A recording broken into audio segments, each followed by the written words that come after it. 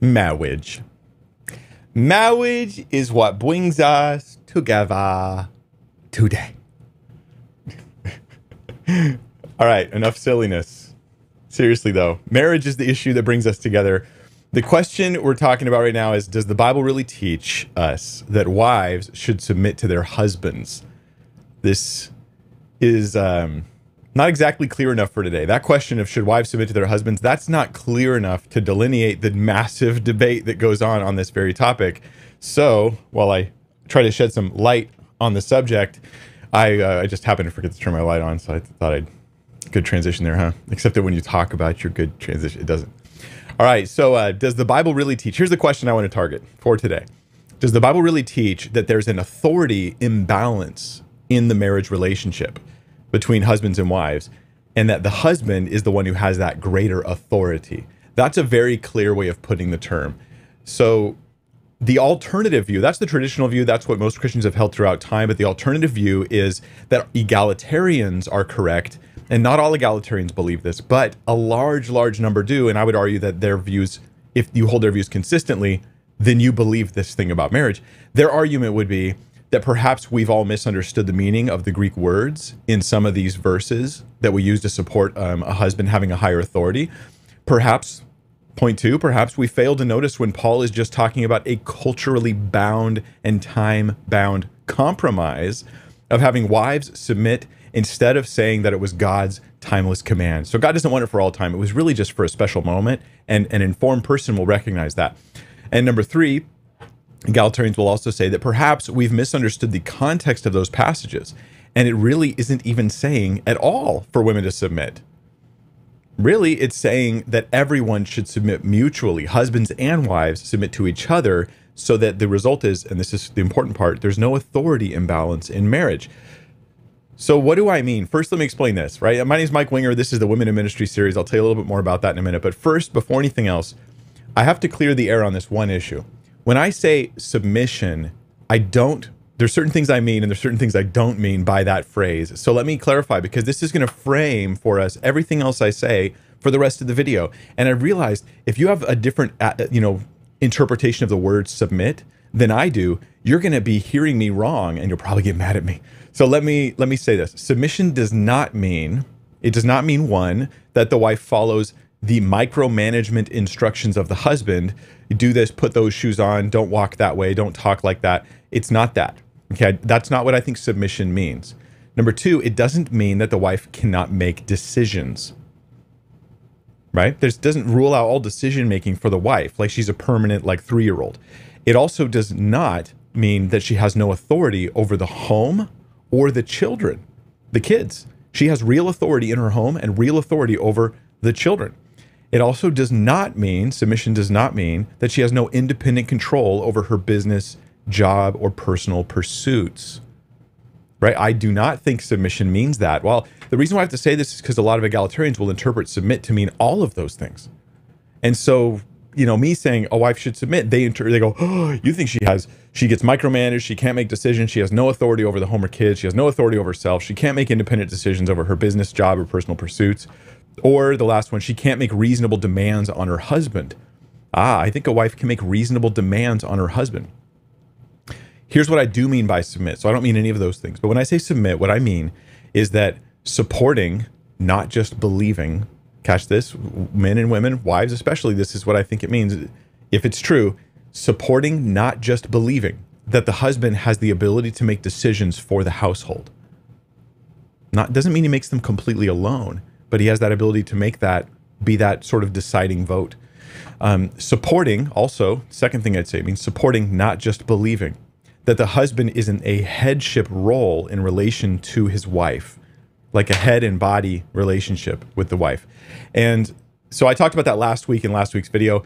Um, so, first, let me say this this is going to be a long video. We're going to put timestamps down below after the video is over to help you navigate exactly this intro. I'm just going to explain here's what it's about. Like this is what I'm going to be talking about today's video. This is what you're going to get in the next few minutes. Then I'm going to dig deep into it. I'll move as fast as I can without hopefully losing anybody along the way because it's going to be very in depth. We're going to dig into a lot of things. So First, I want to offer a defense for why I'm covering the topic of men and women and their marriage relationships on a series where I'm going through what the Bible teaches about women in ministry, right? That's not ministry, Mike, right? Marriage isn't ministry, at least not when we classically think of ministry in churches. So, one, the issues are connected. Wherever, I think logically, wherever you go on the topic of women in ministry, um, eldership, is where you are probably going to go on the topic of marriage. If you think women can be ordained as elders and that's and there's no difference that we need to worry about with regarding authority in the church, you're going to probably, not always, probably say the same thing in the home. There are some people who will hold that women, you know, can be ordained into any position in the church, but that there is an authority imbalance in home. But they're the minority. And number two, the second reason why I would say this is scripture seems to co- connect the two very strongly. That the the issues of women in ministry are connected to the issues of men and women in marriage. And because they're interconnected in scripture, I would not be doing scripture justice if I don't also deal with the marriage issue when I do this series. I'm not going to ignore that bit of scripture that does that. And number 3, this is such a huge issue. Um, this is a bigger deal than women as elders or pastors or anything else. It's a more significant issue because it impacts the the, the marriage of every Christian, not just whoever happens to be in leadership over your church. Which your marriage is a bigger deal than who your pastor is, right? Like whether they're male or female, that's secondary to the nature of the interaction between you and your spouse. Um, and that it's healthy and godly and biblically and biblical. And we'll talk about what that means in this video. The egalitarian view of marriage, that there's no higher authority in the husband, is quickly gaining popularity as well. It's very, very quickly gaining popularity for obvious reasons. I mean, it's incredibly popular culturally. Okay, the egalitarians, I'm not saying you're therefore wrong. I'm just saying that um, your views would not be gaining gaining ground like they are if not for the cultural setting we're in. Right? The the cultural setting is is why it's wildfire you know, gaining views. It's very palatable specifically to first world westernized countries. And when I say it's gaining in popularity, I do not mean in the majority of the world. I mean only in the minority first world westernized countries. That seems to be where this this this egalitarian view of marriage, not just ministry, is really quickly gaining in popularity. When you go to most of the world, this is I think not the case as far as I can tell, right? They have a more traditional view of marriage. So here we go. This is part nine in the, check out my graphics, Women in Ministry series. Such skills. There's a link below that you can go and check out the entire series if you would like to, and you can just look at how thorough this is. This is a very in-depth series. At the end of it all, I will give one video that's just a quick overview where I'm, I do not build my case, I just draw the conclusions. Just boom, boom, boom, boom, boom. I know people will be interested in that. Um, and the notes are also going to be available. I will have my notes after the stream. I'll have a chance to, to put them in the video description. You guys are welcome to look at my notes. The reason why I mention that is because in my notes, I have footnotes to where I'm getting all these quotes from. I'm going to share quotes from dozens of different sources, and I will have uh, footnotes and details there so you can track those things down because that's one thing I do in my research is I check people's footnotes. I don't just take their word for it. Perfectly expect you to do the same to me. So now here's the plan. Here's the agenda for today's video. Step one, I'm going to do a quick overview of the teaching of the most relevant passages that deal with marriage, husband and wife relationships. At least from my own perspective, these are the, the three chief passages. It's 1 Peter 3, Colossians 3, Ephesians 5. Then there's two like supplemental passages. I'll quickly talk about those. 1 Timothy 2, 5, 1 Corinthians 7, 3 verses 3 through 5. I'm just going to draw out the major points and lay out the conclusions. This will feel like a normal like this is how Christians have kind of always been thinking about this stuff. This will feel like a pretty typical complementarian perspective, but it is the one that I think is accurate. I have spent a lot of time working on this, but I will not be done there. That's just to to get the the issues out on the table and say, "Hey, here's one view." The entire rest of the time in the majority of this video, we will be spending dealing with egalitarian pushback and alternate interpretations of all of those verses. So I just want you to see this is how I do understand these verses, but the entire rest of the video is dealing with only those who disagree with me and why this is the important part, why they disagree. We will deal with on each of the three main passages, we'll deal with different scholars and how they disagree. We'll even be dealing with what's called the slavery objection, which is the idea that, hey, fine, Mike, if you want to say that wives have a role of lower authority in the marriage than the husband. They still have authority, but it's a different authority, a lesser authority, even though they're equal in person. If you're going to say that, if that's your claim, then you have to support slavery throughout time in every culture. That is the slavery objection. We'll be dealing with that too. That comes towards the end. And again, we'll put timestamps down below. So here's hoping, praying that I'll have the energy, coffee, to get through all this really well in a way that's informative for you, helps you think biblically about everything, and be fully exposed to both sides. Uh, at least I believe that'll be the case. So here we go starting with the first passage. This is my teaching through the book of First Peter chapter 3 verses 1 through 7. I'll move fairly quickly so we can spend most of our time in dealing with all the people that would think that I'm wrong about this. First Peter chapter 3 verses 1 through 7. Likewise, wives, be subject to your own husbands, so that even if some do not obey the, the word, they may be won without a word by the conduct of their wives when they see your respectful and pure conduct, do not let your adorning be external, the braiding of the hair and putting on of gold, jewelry, or the clothing you wear, but but let your adorning be the hidden person of the heart, with the imperishable beauty of a gentle and quiet spirit, which in God's sight is very precious. For this is how the holy women who hoped in God used to adorn themselves by submitting to their their own husbands. Excuse me, let me find my spot here by submitting to their own husbands, as Sarah obeyed Abraham, calling him Lord. And you are her children if you do good and do not fear anything that is frightening. Then it has a word for husbands. We'll get to that in just a moment. So what are we what are we getting here? I'll be leaving this this most of this up for you guys to look at. Um, wives are to what? To be subject, and that, that that's a Greek word. Be subject. There. This is just so you know. For those who are like, Mike, you're you're using the ESV, aren't you? I know that that's like that's like a translation just made to support man's powers. Um, that's a false claim. but but here's a, here's a more important issue that relates to this particular study. At no point am I quoting the ESV in a way that reads differently than the vast majority of all translations. Right? There's no there's no at no point in my entire women in ministry series am I leaning on the ESV and the way they translate as being my case for anything. So you could read this. Uh, here it says be subject to other translations, even things like the RSV, which which would be the old RSV, which would lean more um, liberal in in those types of readings, is going to say the same basic thing. So don't get distracted, is what I'm saying. These are those are irrelevant issues. Uh, First Peter chapter three verses verse one, it says wives should be subject to their own husbands. Uh, that word hupotasso, this is a Greek word that definitely means being in submission to. It means that somebody else is, is is is has a higher authority than you. That's the nature of the term. That's its usage very consistently over and over again. Okay, so that that's important. But the reasons for why a wife should be subject to her own husband, according to First Peter, is let's list them now. Okay, I read the passage, I'll just list them. One is that they might get saved right? That for the for those husbands that aren't saved, they might get saved because they'll see the conduct of the wife and, and be drawn towards Christianity. I mean, Lee, Lee Strobel, his testimony is a lot like this. He talks about how his wife got saved and he was really bothered by it and he wanted to draw her out of Christianity. He didn't like it, but her attitude and her joy and her, and the goodness that he saw in her, that that had an impact on him. You know, so this is a good thing. Um, so it's it's not exclusive though. This is super important to recognize for later on it's not like the only reason wives should be subject is for their husbands to get saved, as if it's only instruction to wives who have unsaved husbands. Rather, it's just one of the benefits if some do not obey the word. So, hey, all wives be subject, but if some of them aren't obeying the word, that'll be harder for you. That'll be make your your yielding to your husband more difficult, but it might be evangelism to him. So that could be a positive thing. It's not in other words, and I'll say this, it's not just convenient or culturally acceptable here.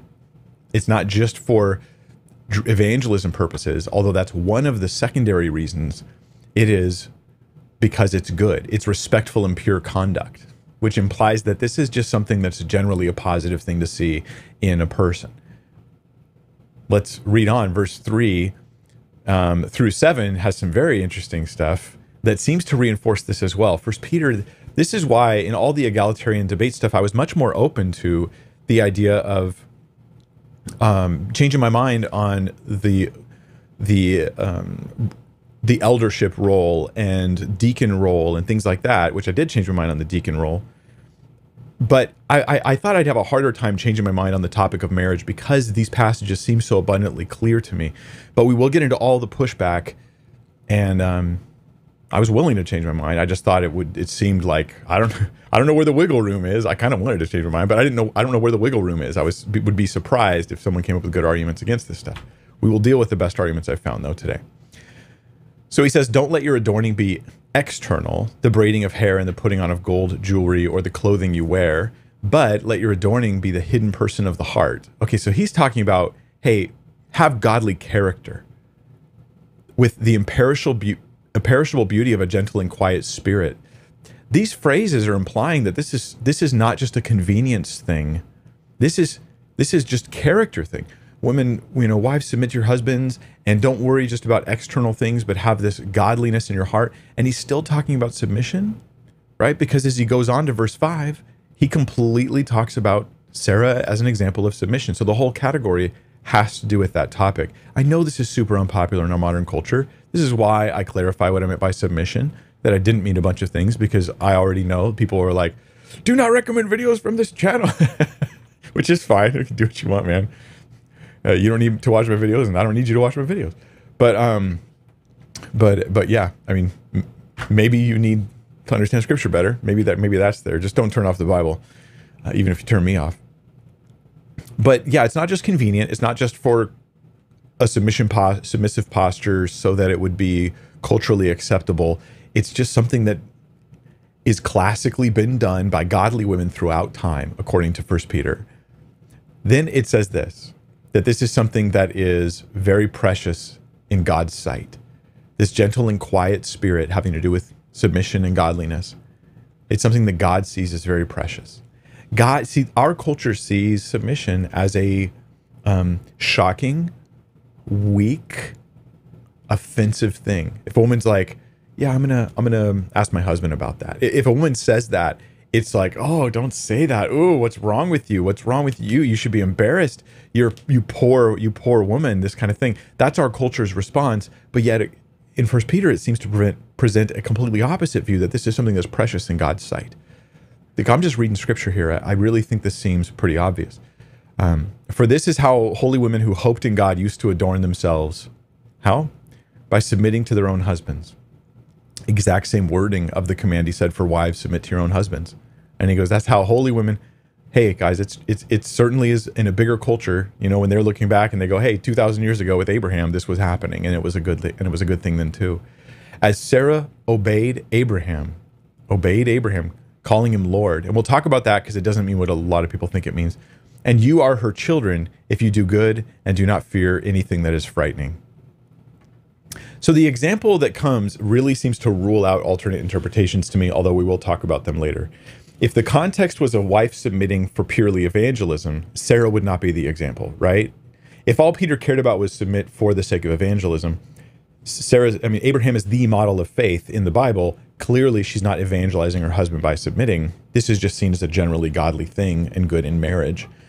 Um, if submission, on the other hand, didn't ever involve just doing what the husband decides for the family, like because some people try to define submission like it doesn't mean that or doesn't involve that, then Sarah wouldn't be used as an example of someone who obeyed her husband.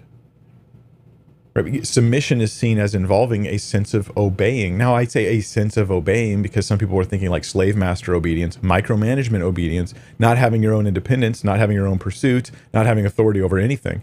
That's to me, this, these are all bad views of submission. But how did Sarah obey? Well, Sarah went out with Abraham when God called him. She went with him into this promised land. I want you to understand how freaky that would have been. We're going to leave the land we know. Where are we going? I don't know exactly. It's just a land God told me he would show me as we journey. And Sarah goes, Okay, I will yield to that that there's a sense of obedience there, right? There's a sense of obedience, and it's a word that we don't like in our culture, and it's one be- that be- because in our culture we rarely use the word obey unless we're using it in a diminishing capacity. It tends to have a pejorative connotation to it, right? But it didn't have it to them. We're just very. This is part of I think our our westernized individualism that it's it's like you don't even want to say when you when you do what your boss says that you're obeying your boss. I mean, you are. You just don't want to use that word to describe it. So it, it is obedience. We just don't like the word because we're we have this sort of Western pride, I think, in us. At any rate, we get to the next word, which is calling him Lord. Calling him Lord. Um, what exactly was this? Genesis 18:12 is the only time Sarah calls him Lord. Let's look at that verse real quick. So Sarah laughed to herself, saying, After I'm worn out and my Lord is old, shall I have pleasure? That's where she calls him Lord. Now, it's not Lord like down here. See that capital L O R D? When you see these capitals, that means it's the name of God, right? It's Yahweh. When you see this, it, it, it's more of a normal term in Hebrew or even somewhat normal in Greek, kurios in Greek. It's a term used of somebody who is authoritatively higher than you. That's all that it means. Um, there's two major points I should make on this. One, we don't have an equivalent term in English today for Lord the way they used to use it. N- not even the word like boss. It doesn't work. I don't think Christian women today need to call their husbands Lord. I don't think that's the instruction here. Because, or you could call him whatever that Hebrew word is. Go find that out and see what she was calling him. But in English, like language changes over time, and we legitimately don't have a word that is commonly used that will be understood and accepted, like with uh, with with knowledge, as far as the meaning goes, where a woman could call her husband this. I don't know the word that's there. I don't know what word there is, what the equivalent is. I don't. I don't know of it. If you guys do, please recommend it in the comments. Um, if you haven't uh, unsubscribed already. so, uh, but I, I'm, I'm just so you guys know, I'm I'm aware of how much I trigger people with this series. I, I'm at the same time when I see how much it triggers some of you, I um. I just realize how how important this series is because I'm not ashamed of what Scripture teaches on these issues and if I see Christians who get mad about what scripture teaches on these issues, and, and, I'm not saying all of you get mad, but there are enough who do that I think I can address this. When I see this, I realize how much it has to be pushed, it has to be pressed, because here's an area where modern Christians are very susceptible to not thinking biblically about these issues. And so scripture comes in and says things that don't feel like they fit our culture. And the, and the, the reason is A, it's just hard to understand with different cultures, but B, it doesn't fit our culture. Our culture should change. At least the Christian, at least your personal culture should change for these things. So the first point is yeah, I don't think wives have to call their husbands Lord. But the second point remains she casually sees Abraham as the leader for their marriage and family enough that she can just refer to him with the pronoun Lord. So she casually does see the husband in that role. It is highly offensive in our culture to do this right? Again, the woman says, I need to, I'm going to have to ask my husband. Triggered. People are just triggered. In fact, husbands will say, I have to ask my wife, and everyone chuckles and laughs because it's acceptable for him to diminish his role, but it is not acceptable for the, the, the wife to suggest the opposite of the husband. So, submission to husbands in First Peter seems like a general character quality for Christian women, not just a culturally bound issue. It's how holy women of the past behaved let me summarize, which makes it a general rule. It's, it involves the beauty of a gentle and quiet spirit, which is precious in God's sight, which again makes it a general good character trait for wives and not just a cultural thing. Submission, however, is limited. In First Peter, it says submit to your own husband, not to every single man. This is even against some patriarchal and even some complementarian guys. I don't think all women have to submit to all men. I think that's a strange view that is even perhaps um, it can create awkwardness and weirdness and strange behavior, but it can also and also um, create danger for different situations. So submit to your own husband, not submit to every husband or submit to every man. That's not the rule. Now, some would respond to this this teaching in First Peter and say, "Well, that's abusive, Mike. That that teaching is abusive." But I want to say that so often, what I hear when people complain about the biblical teaching about husbands and wives is they only look at the wife aspect. They often view it through the trigger lens and not through what it clearly actually says. And they always ignore what the Bible says about husbands. Because once you incorporate what it says about husbands, it's hard to call it abusive. So let's look at that. Likewise, husbands, Live with your wives with an understanding way. And this will trigger more people, but you, it's your fault. Showing honor to the woman as the weaker vessel. Showing honor to the woman as the weaker vessel, since they are heirs with you of the grace of life. They're co-heirs, so that you, so that your prayers may not be hindered. Now it's just one verse here to husbands. He explained it more in more detail to women, but to husbands, this is pretty powerful stuff. What is the husband required to do?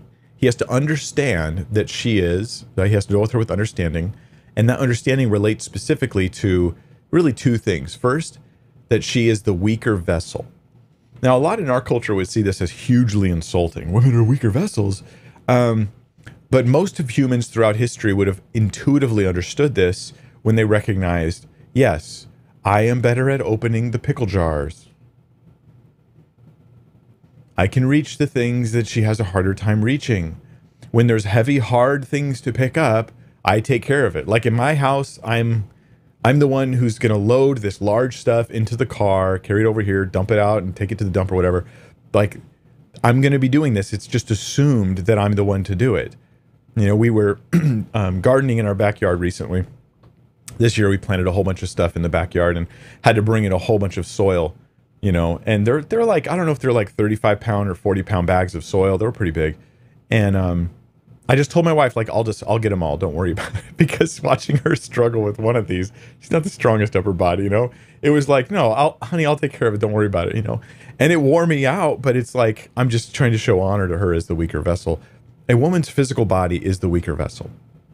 If that's offensive to you, then just go watch the MMA fights where a man pretends he's a woman and goes and fights the women and seriously injures and hurts them. And you can realize quickly that this is dishonoring her because he is not treating her as the weaker vessel.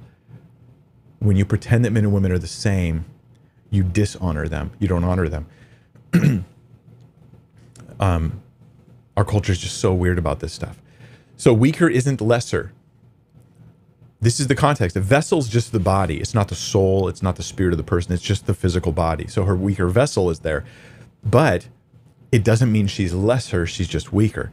It means that you give the weaker vessels greater care. In fact, he's using the vessel analogy, I think, on purpose because in your home, you have different vessels, and some of them are more durable and they can be put through more tough circumstances, but some are precious, as the wife who is, the, who is an heir of the grace of life. She's a Christian, and um, at least most of them would have been in, in, is Peter's writing.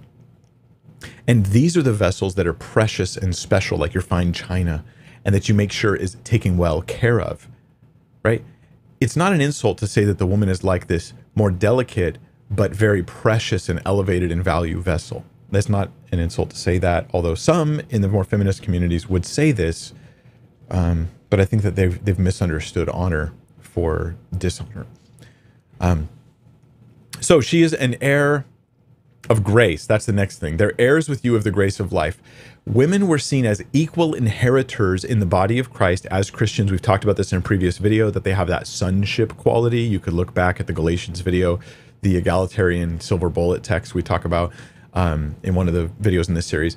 And so this is definitely an interesting and unique Christian perspective because as it comes to in Christ and in her eternal relationship with God, there's total equality um, not just in value, but in inheritance. This is not the case for women in the culture as far as what they would inherit versus what men would inherit. There was a difference, but not in Christ. There was no difference. That's an interesting thing. So the husband is told this Husbands, you need to have understanding with them, right? You need to show honor to them. You need to recognize that they're heirs with you of the grace of life. And then there's a threat so that your prayers may not be hindered. And to me, this is huge. Husbands, this is heavy. Are you failing to honor your wife? Are you failing to see her heirship, her inheritance in Christ? Are you failing to see these things and, and act like they're true? Because that's God's daughter and he will hold you accountable. Your prayers will actually be hindered. This is definitely counter culture in all cultures, really. Um, to say that God is intimately involved in the way that you treat your wife. Yes, you have an authority that's there, but you better not abuse it. You better honor her. You better treat her as an heir and a fellow heir in Christ. This is what I think is the heart of complementarianism. This is why I like the phrase complementarian.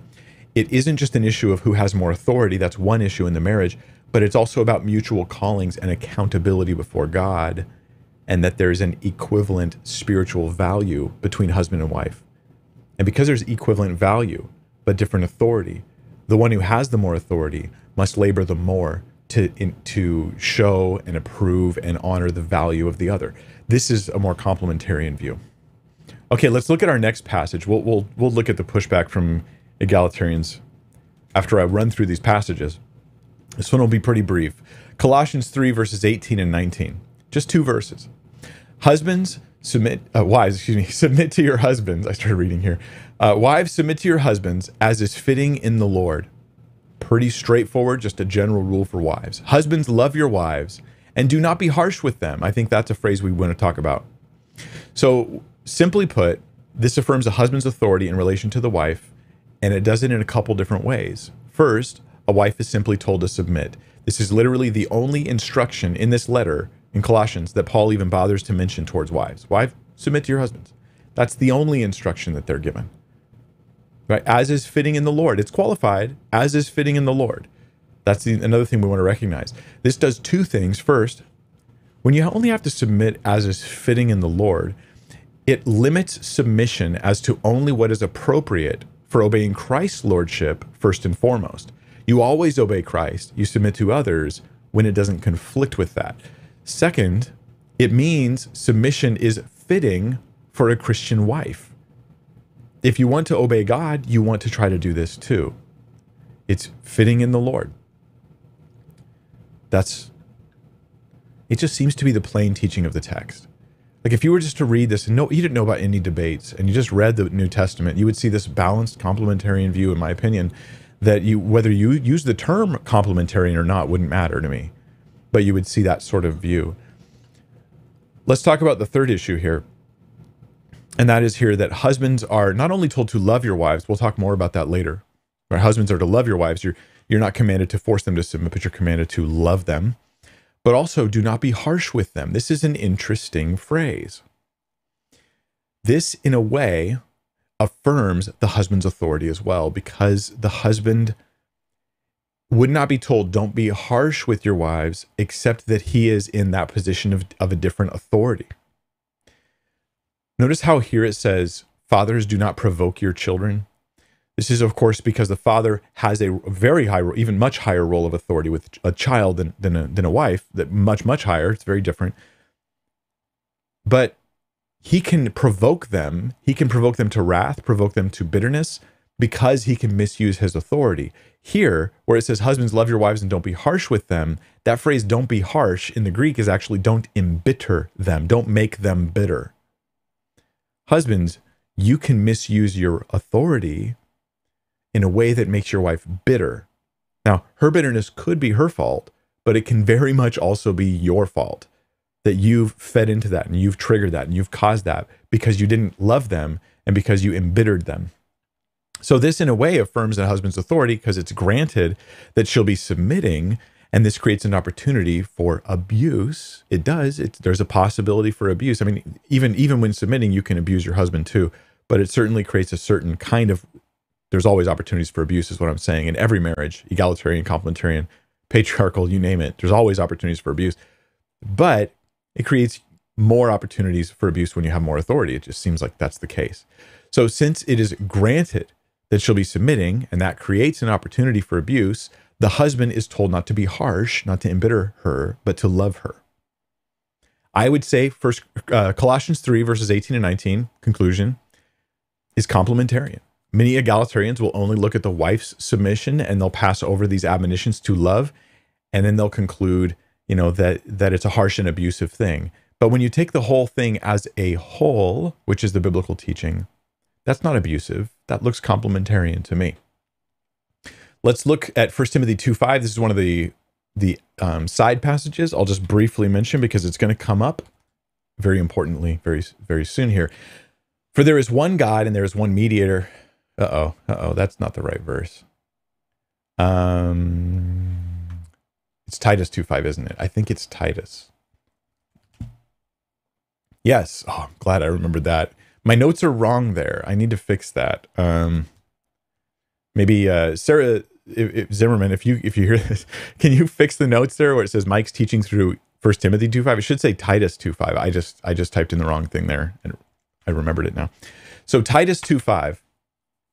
It it admonishes these things. Um, older women are to train the younger women to do certain things. Train the younger women to what? To love their husbands and children, to be self controlled, working at home, kind, submissive to their own husbands Remember the, meat, the purpose, though, that the word of God may not be reviled. We will come back to that later.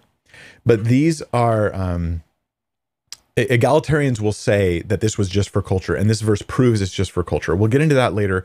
I just want to throw it out there that it's a general thing that you're supposed to teach the younger women to do. It's in that category of things that just all young women should be taught, according to Titus, which Paul wrote to a young Christian leader.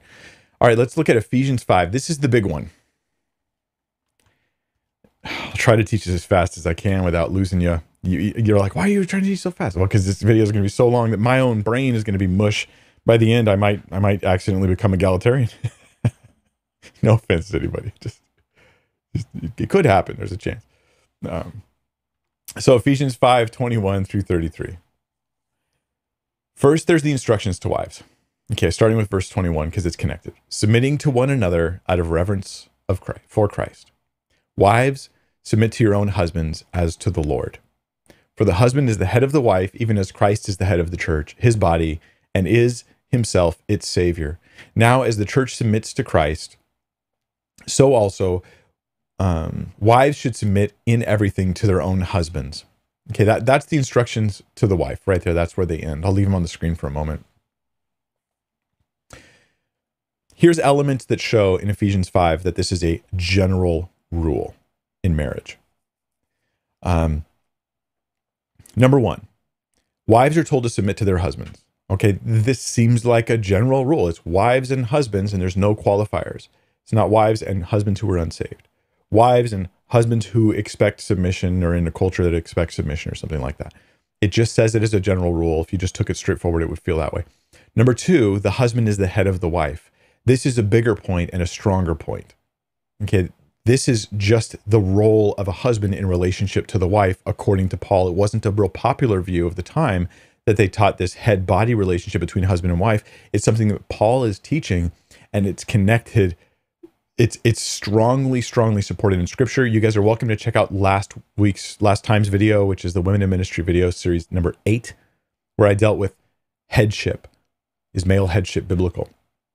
So that's a big deal that wives should submit. Why? For the husband is the head of the wife, even as Christ is the head of the church. That clearly involves authority. this is tied to the nature of marriage. It's the nature that a husband and wife have this head body relationship, just as Christ and the church have this head body relationship. And then the deep word study on the meaning of the term supports that. The third reason why this would support um, submission in the sense that I described earlier in this video, as a general rule, is the analogy is that it's as Christ submits to the church, so wives should submit to their husbands. The, so the headship analogy that implies it. The the blanket statement of submitting that implies it, but also the comparison of Jesus and the church because the church submits to Christ. This again is just obviously there. I don't think I need to explain it that well. Um, now, to husbands, there's a lot more instructions. It goes from verse 25 to 33. Husbands, love your wives as Christ loved the church and gave himself up for her. Again, the husband's told to love. Sound similar? Sound, sound familiar? That he might sanctify her, having cleansed her by the washing of water with the word. That's talking about Jesus there. So that he might present the church to himself in splendor, without spot or wrinkle or any such thing, that she might be holy and without blemish. Notice that everything that Jesus did was for the benefit of the church. That's the kind of love the husband's supposed to have, purely for the benefit of his wife. Right? Real benefits, not felt benefits, not doing not happy wife, happy life. That's different. Those are felt benefits. But holy wife, happy God. I don't know. I don't know. It doesn't rhyme, but it's more accurate. Verse 28 In the same way, husbands should love their wives as their own bodies. Remember that head body analogy? The husband's the head. Well, if she's your body, you should love her like you do your own body. He who loves his wife loves himself. For no one ever hated his own flesh, but nourishes and cherishes it just as Christ does the church, because we are members of his body. Therefore, a man shall leave his father and mother and hold fast to his wife, and the two shall become one flesh. This mystery is profound, and I am saying that it, this is this is deep. It, what's it? The it is a man leaving his father and mother and the two becoming one flesh. Two becoming one flesh, that's the it. It refers to Christ and the church. However, let each one of you love his wife as himself, and let the wife see that she respects her husband.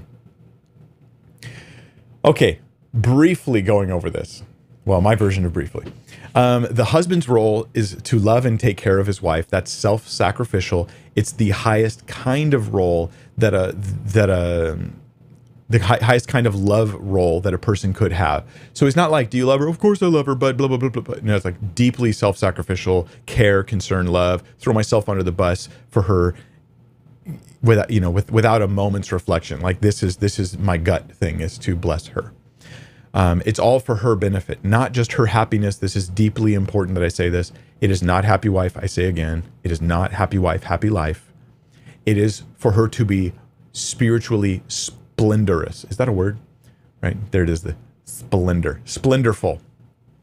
For her splendorosity to be manifest, splendorificness to be going on there. Her sanctification and her holiness, not just her happiness as in because she might be getting happy through the flesh being pleased, right?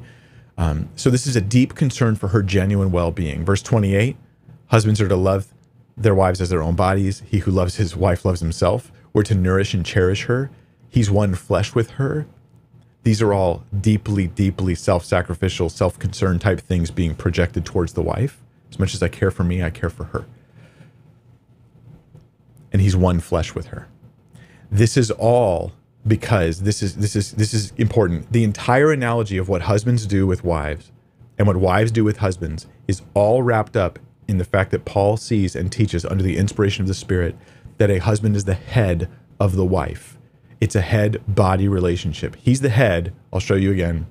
Verse 23 The husband is the head of the wife, even as Christ is the head of the church, his body. Now, some say, well, the wife's not seen as the body here in this passage, but that's that's not true verse 30, uh, 28, excuse me, says what?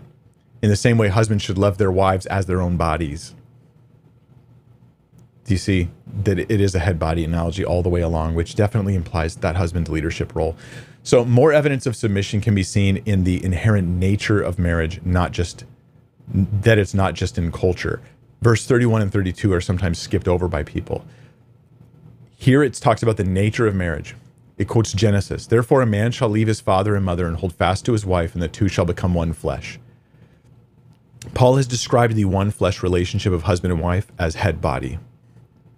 That's the nature of the one flesh. But he grounds the he grounds the um, the relationship not in culture or custom, but in creation.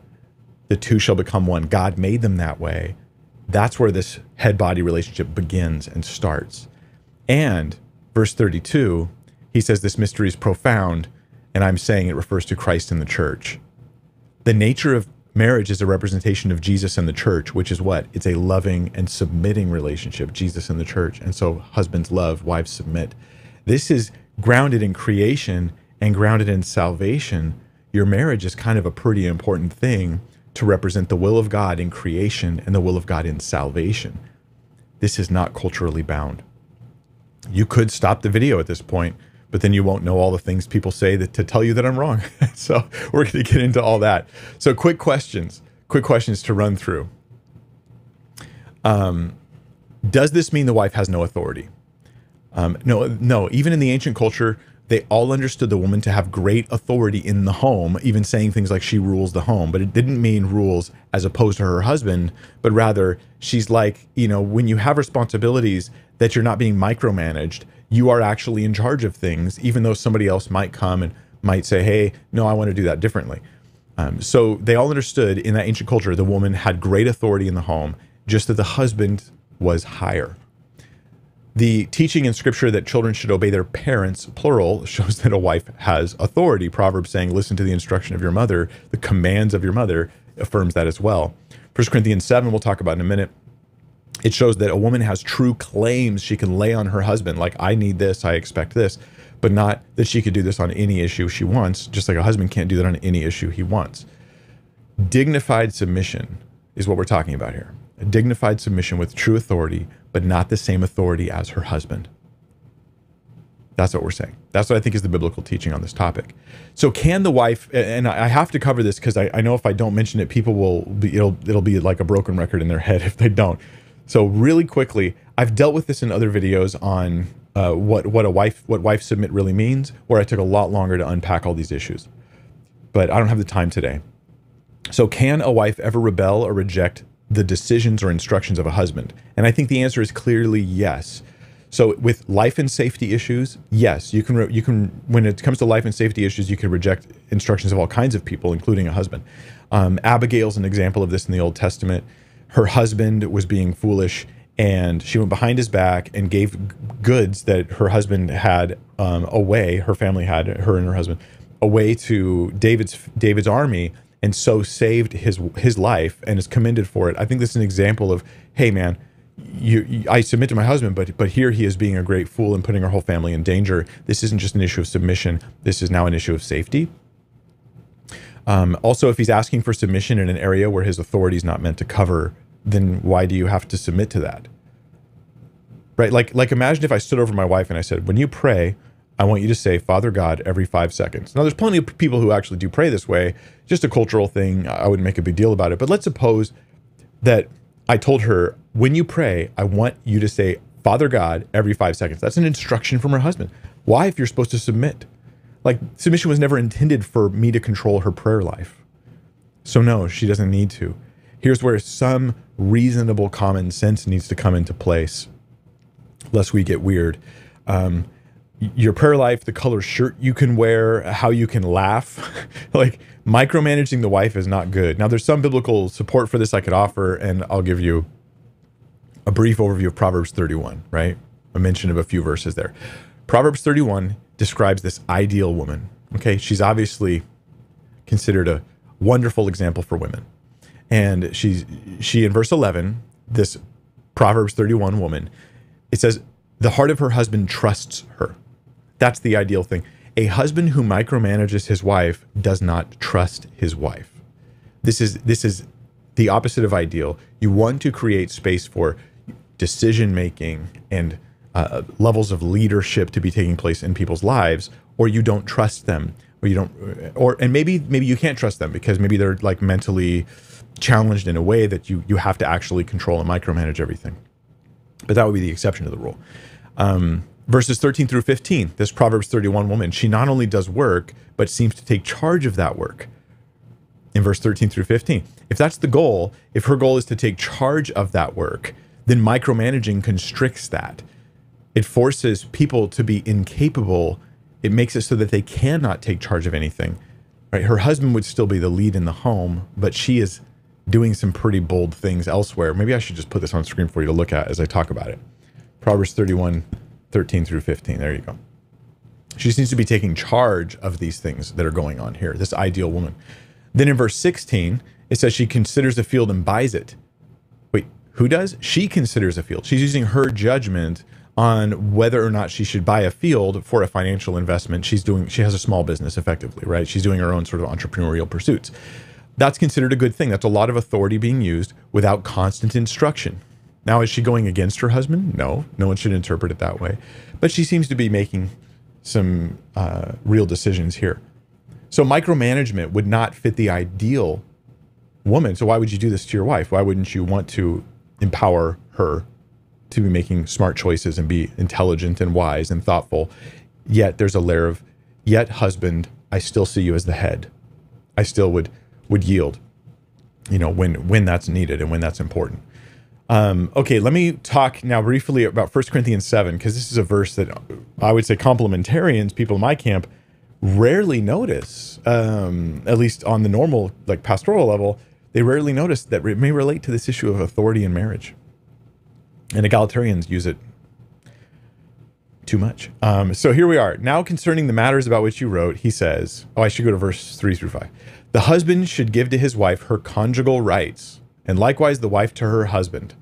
The general view here is that um, intimacy between husband and wife is a responsibility that you owe to your partner. A husband owes it to his wife, the wife owes it to her husband.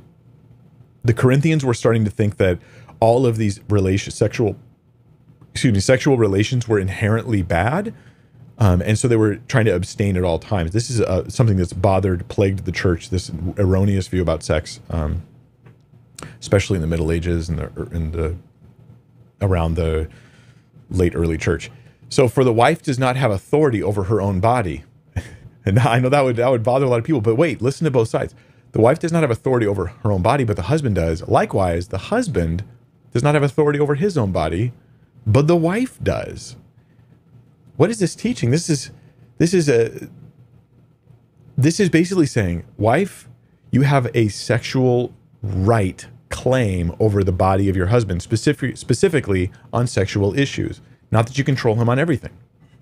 Husband, you have a right to claim over your wife. Doesn't mean you can force yourself. Okay, forced that's there's a word for that r-a-p-e right there's a word for that that's not what we're talking about we're talking about rights not forcing anything not violating people's wills we're talking about what's morally good in a marriage so the wife has authority over her husband's body this is huge this means that in relation to sexual rights it rules out polygamy because a wife has authority over that husband's body he cannot go and use that body somewhere else this is against the greek and roman ideal that thought that men could could fornicate and women shouldn't so it could protect the offspring line.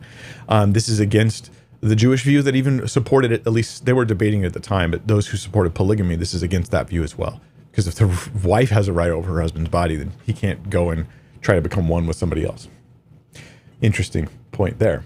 Now, egalitarians will say that this single verse, verse 4, proves complementarians wrong because it shows that authority in marriage is equal in every in every way. Um, but that, of course, is wrong because the context is sexual rights, conjugal rights. In that, there is an equality in authority, but not in every way is there an equality in authority. But it does show this that submission is limited. A wife's submission is a limited thing. That's important. Finally, let me draw some uh, conclusions here, and then we're going to do the First Peter rebuttal from the egalitarian. So finally, husbands didn't have all the authority that their culture wanted to give them. While a wife's submission is taught in Scripture and a husband's authority is taught there consistently and I think clearly, they didn't have the same authority that their culture wanted to give them. Sexually, they did not have that same authority. Jesus, another point, Jesus rejected a male right to divorce. They thought it was a male prerogative he totally rejected that and the new testament removed any restrictions on educating women in like religious matters and one of the fears of that was that it was somehow going to like threaten authority and so these are ways the new testament goes against the culture of the time. Callings also are mutually exclusive. This is a significant point. The husband here's what i mean by that. The husband is never told to make his wife submit. Some of the people at the time would have been like husbands you have to keep your wife in submission. The new testament never says that. It says wife submit. It never says husband make your wife submit. That to me, I believe this is where abuse takes place. The attempt to force others to submit against their will is where abuse takes place. It's one thing when you're dealing with a child, right? Where I'm going to try to force a three year old to submit against their will. That's part of good parenting. I'm not going to do this with an adult. That would become abusive to that relationship. Husband you are never told to make your wife submit, even though it is said of elders that they have to make their children submit. They have to keep their children in subjection, but it's never said about their their relationship with their wives. Interesting. Also, the wife is never told to make her husband love her or to make him lead well, because this means that it removes a lot of the tension and the abuse that comes in marriage because the wife is like, Lord, I'm just going to honor you in my role, whether my husband does or not the husband goes, Lord, I'm going to honor you in my role, whether the, my wife does or not. And I'm not fixated on the things they're doing wrong. I'm fixated on my obedience to Christ. This is one of the healthiest things you can put into a marriage is that that fixation on obedience to Christ and not on them doing the right thing all the time. Finally, I'll just say all of these verses, they seem complementary and 100% of the way through. And the core of my interpretation is not new. There's nothing brand new that I'm giving in the core of what I'm saying. Church history has very strongly supported it. Um, that's not a trump card, but church history can be important. Because if something has never been viewed in church history, has never had a significant following throughout church history, you got to wonder why nobody noticed that. That would be, it, it would at least require explanation. Now, egalitarian pushback. Let's dig into it. This is where the rest of the video is going to all be just where egalitarians say that this view that I've expressed, where I, I think is the straightforward teaching of Scripture, is wrong. Going into it, I was open to changing my mind on my, my views here, but here's here's why I didn't. Here's why I haven't changed my mind. More importantly, who cares what my mind is on this issue? Here's the other side of the story for those who go, what are the points someone would make against Mike's views? How would they interpret those passages? So I can think it through. So here we go. This is Peter Davids, a scholar who talks about 1 Peter chapter 3 verses 1 through 7. That was the first one I brought up where Peter talks about wives submitting and husbands loving but not but also honoring and um, treating them well as co-heirs in Christ. This is his view of 1 Peter chapter 3 verses 1 through 7 and we find it in, in the book um, discovering biblical equality which is one of the um, one of the top level books for like, hey, these are what scholarly egalitarians believe. So Peter Davids' view is this. The reason any wife submits to her husband is for evangelism, and that is the only reason. The only reason. Let me put First Peter up for you to see. The reason a wife submits is for evangelism, and that's the only reason, which means it's culturally bound right? In a culture that expects a wife to submit, well, a wife should submit to that husband so at least he becomes Christian. Then after he becomes Christian, maybe then we can explain to him that this unequal authority is not really a thing, anyways, but we do it for evangelism. Davids, Peter Davids', he sees family, this is important, family itself as a human construct. Think about this. He sees family as a human construct. Therefore, any commands about submission are culturally bound because they're about a human construct called family, and they don't refer to anything intrinsic in the nature of marriage in general. Okay, let me show you these quotes because you're like, he doesn't really say that, Mike. Yeah, but he does though. He said, uh, so First Peter 3 1 begins, I'm quoting Peter Davids now, with submit to your husbands language that has already been used in 1 Peter 2 13 and 18. This is an attitude that Christian subjects are to show to rulers and Christian slaves to masters, but in each case, it's a qualified submission. Since believers in Christ know themselves in reality to be immigrants or resident aliens. Thus, they are not really part of the structures of this present age. And then he lists the structures, whether governmental or familial which are human creations.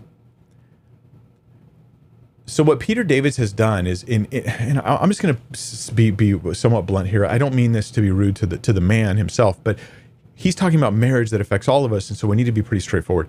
What he's done is he said that marriage itself is a human creation.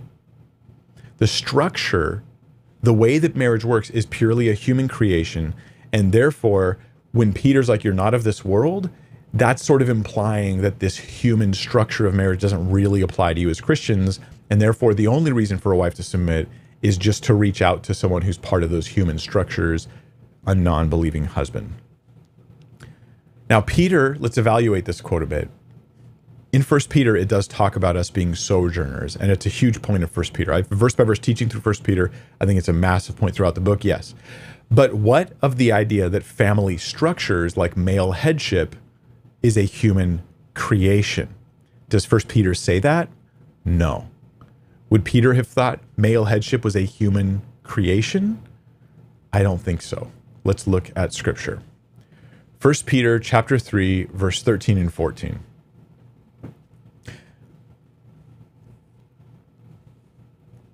It says here um, does it? Oh, chapter two. That's what I did wrong. I'm like, that's not right. No, I'm quoting scripture wrong. All right, First Peter chapter two, verses 13 and 14. Be subject uh, for the Lord's sake to every human institution. Here's where Peter talks about human institutions, and then he lists them, whether it be to the emperor as supreme or to governors as sent by him to punish those who do evil and praise those who do good.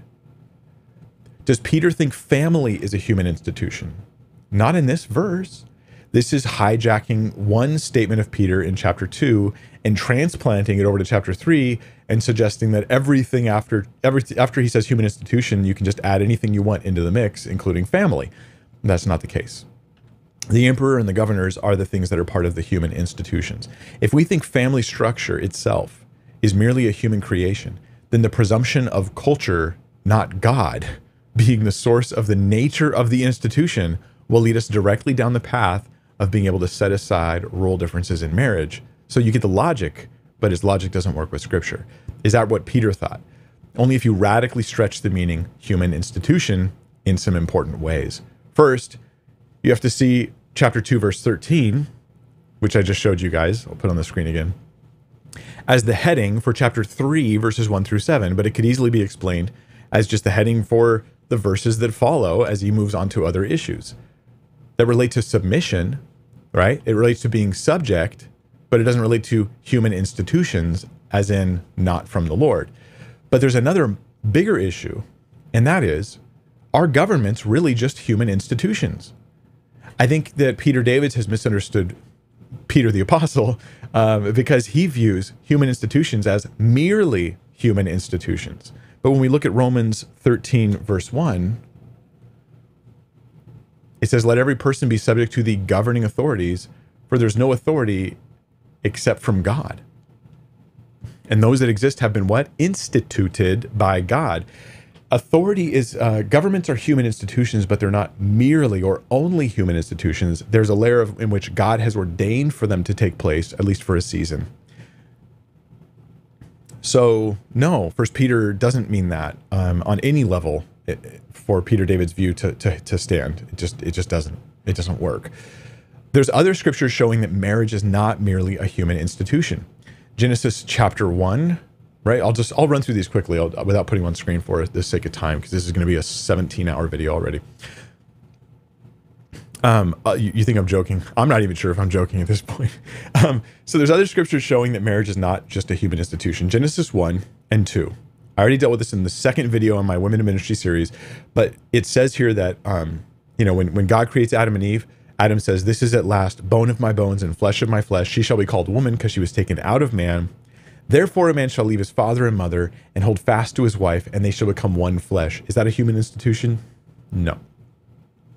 Jesus, commenting on Genesis 2 in Matthew 19 6, I have to put it on your screen because it's, it, watch, watch is better. You'll see. Matthew 19, 6, Jesus commenting on Genesis 2 says, Therefore a man shall leave his father and hold fast to his wife, and the two shall become one flesh. This mystery is profound. I'm sorry, I skipped ahead.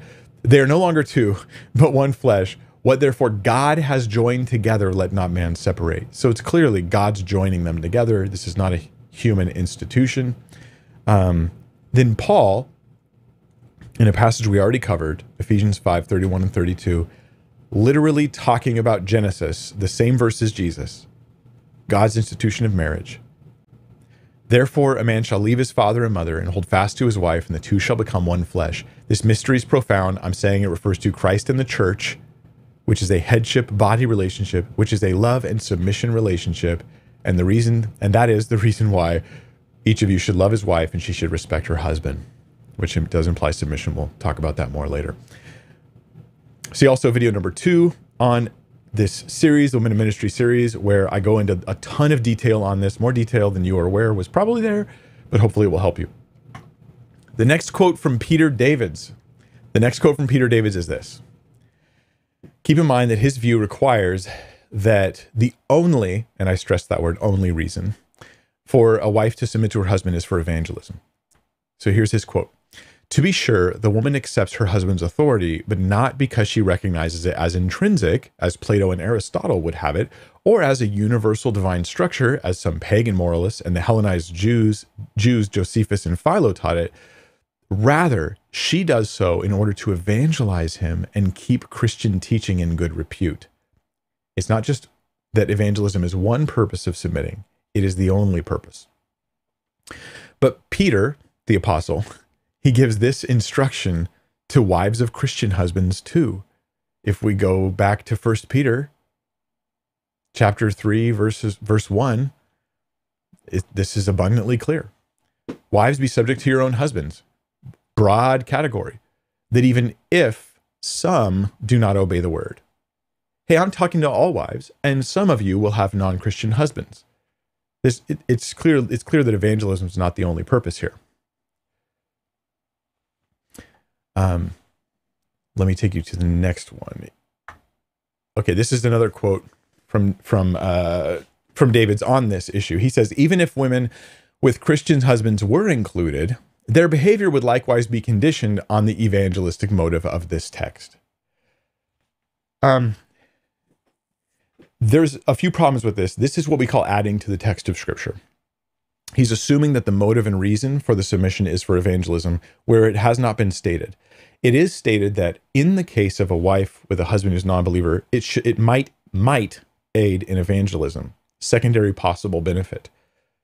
But nowhere does Peter indicate a Christian woman submitting to a Christian husband is for evangelism. The fact that it's the case only for the non-believer who you know who the christian woman who has a non-believing husband that that might be for evangelism. In that case implies that it's not the case for the christian woman with a christian husband. You might need to replay that back. I think that's good logic though.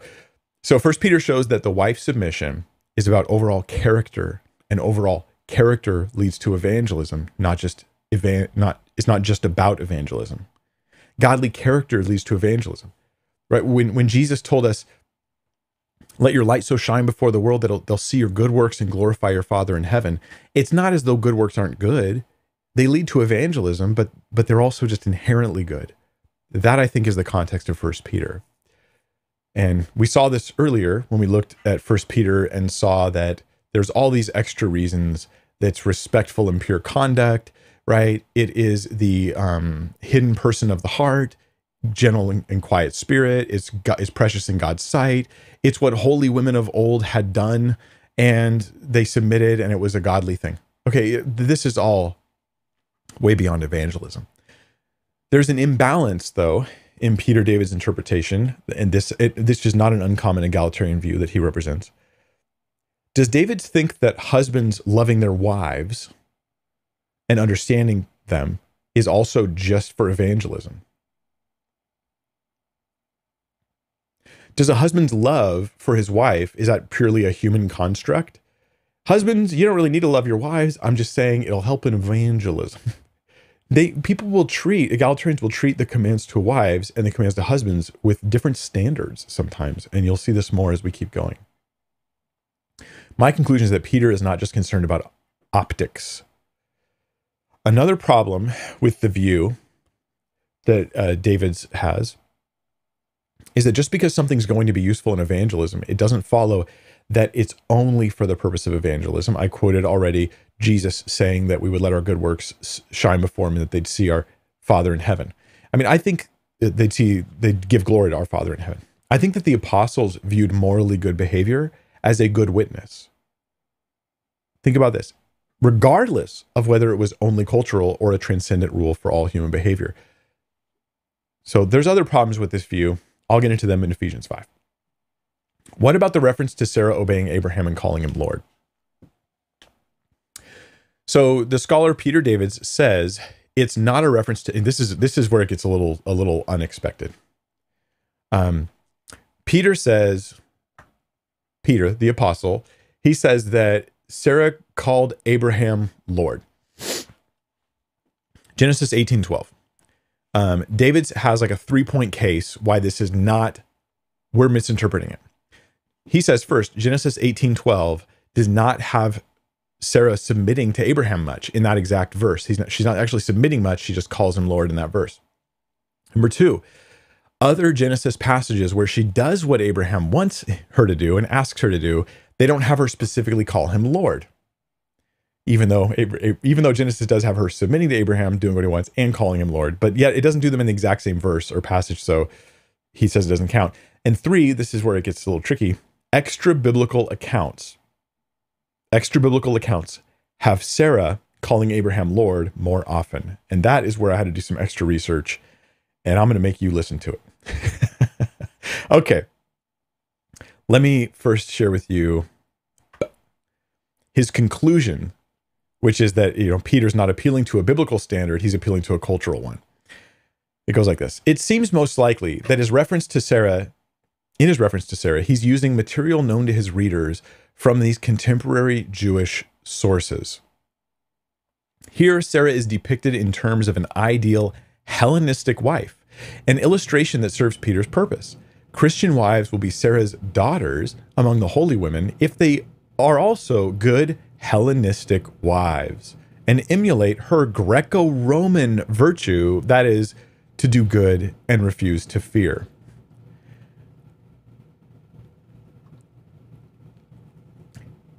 If you can understand Peter Davids' view, let me share with you what I think the problems are with this view. Number one, every element about Sarah in 1 Peter 3 is found in Genesis every single element.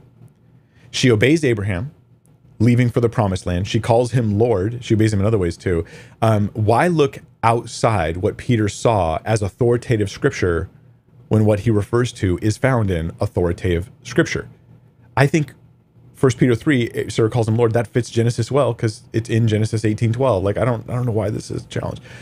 Um, number two, second problem. Even if Peter was referring to extra biblical works like the Testament of Abraham, we'll get into in a second, it doesn't mean it was just a cultural concept. Because what, what Peter Davids is saying, hey, if he's not referring to Genesis, but he's referring to these extra biblical, more, more recent works like the Testament of Abraham, then maybe it's a Greco Roman standard that they're appealing to. But I, but how do you build a bridge there? How do you conclude that Abraham isn't actually appealing to real holy women of old who were holy back then and not just in fantasy literature about those women from the local time. But there were also problem with Peter Davids' Hellenistic texts, and this is what took some homework to figure out. So he only actually he he mentions several. He says there's several. There's a bunch. The implication as you read it is that there's a number of places where in in like literature going around during the apostles' time, Sarah is talked about and she calls Abraham Lord. But he only actually mentions one, and that is the Testament of Abraham. Because he only mentions one, I think we just have to focus on the one. And he seems to mention it as his best example. Let's go to that. Uh, just a second. I got to get this one up for you. PD. Okay. I'm just to have to put it on the screen like this. Um, he says, uh, but do we find Sarah frequently using kurios? That's the word Lord in Greek. When referring to or addressing Abraham in extra canonical Jewish works, such as the Testament of Abraham, roughly contemporary with 1 Peter, we'll check that claim in a minute. In this work, especially, kurios is, is used by Sarah to address Abraham, usually my kurios Abraham, my Lord Abraham, although only in casual or solemn discourse, not in context of obedience. And uh, you know they say the devil's in the details. Well, well, that's a weird phrase, but it is um, in this case, accurate. Let's talk about the Testament of Abraham.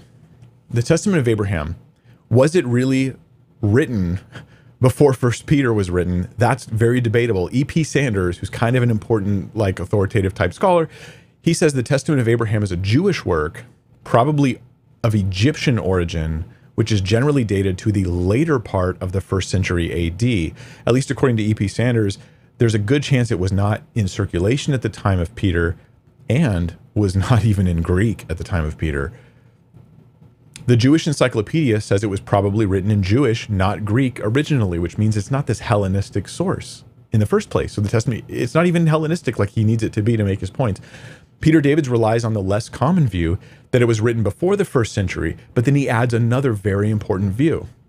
So it's not most people don't hold that view, but he adds more to that. that it's widely circulated. It started in Egypt, but he thinks that it's out there in Asia, that it's gotten into all these other locations and is so well known that Peter can casually refer to it, even though Genesis has her calling him Lord.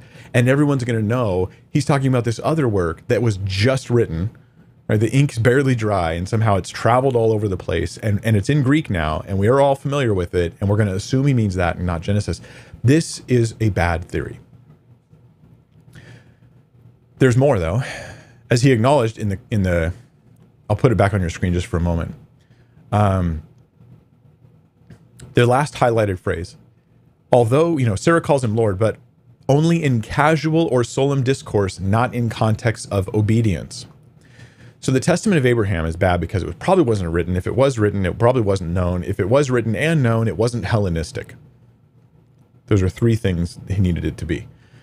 And four, one of his complaints about Genesis was, yeah, Sarah calls him Lord, but she's not obeying him in that very verse. She's just calling him Lord, which I don't think she needs to. Okay, I think is a weird standard. But when Sarah calls Abraham Lord in the Testament of Abraham, she's not obeying him in those verses either. It's just a normal way of talking.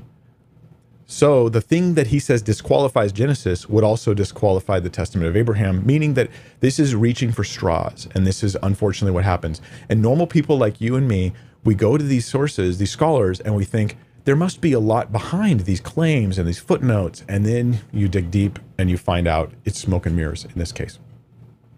You can see how he dodges the obvious. Let's look at the next quote from Peter Davids. Two encouragements are given to support such behavior. First, this kind of behavior can lead to the conversion of a non believing husband. Second, it puts the wife in a class of holy women of Judaism, whose behavior brought divine approval.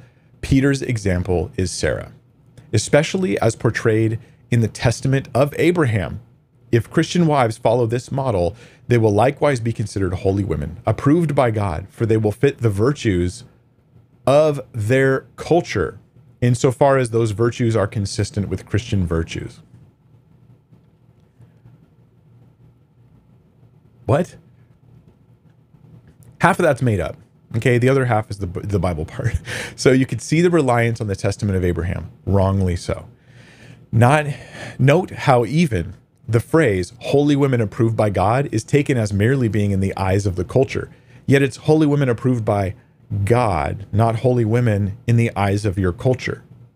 It doesn't, it's just the opposite of what it means. Nothing in First Peter implies holy in the eyes of your culture.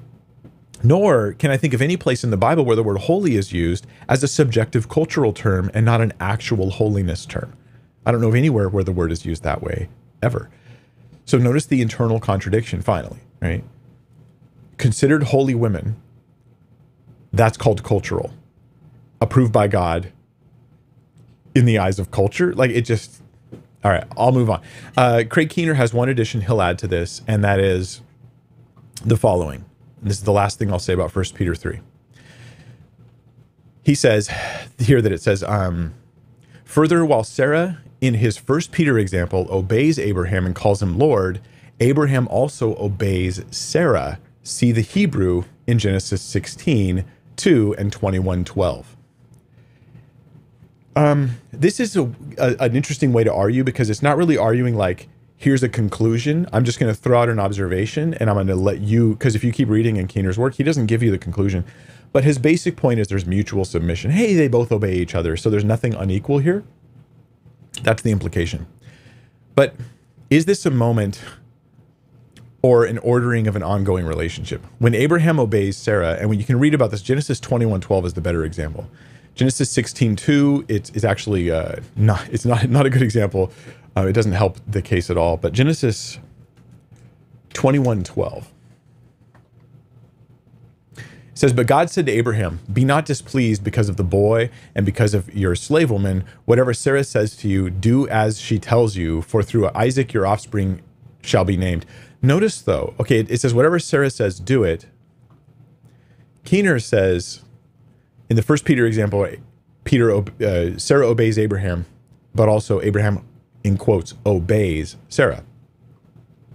Here, he's not obeying Sarah. The Hebrew, which I did look at for Keener, Craig Keener's request, it's the word for to hear, shama, Strong's number 8085 if you want to look it up. The word means to hear. Does it imply obedience in the relevant sense? No, because frequently in scripture, God is hearing his people. He hears them. It doesn't mean he obeys them. It means you hear them with a positive ear that is implies acceptance. You know, like, yes, I hear you. I'll, I'll help. I'll do the thing you request. But it doesn't imply obedience that relates to authority in any way. So Keener's pushback seems irrelevant to the passage. All right. Um, for the sake of the stream and how long it is, I need to take a small break for reasons you may be able to guess. I'm just going to walk away for a minute. I'll be right back.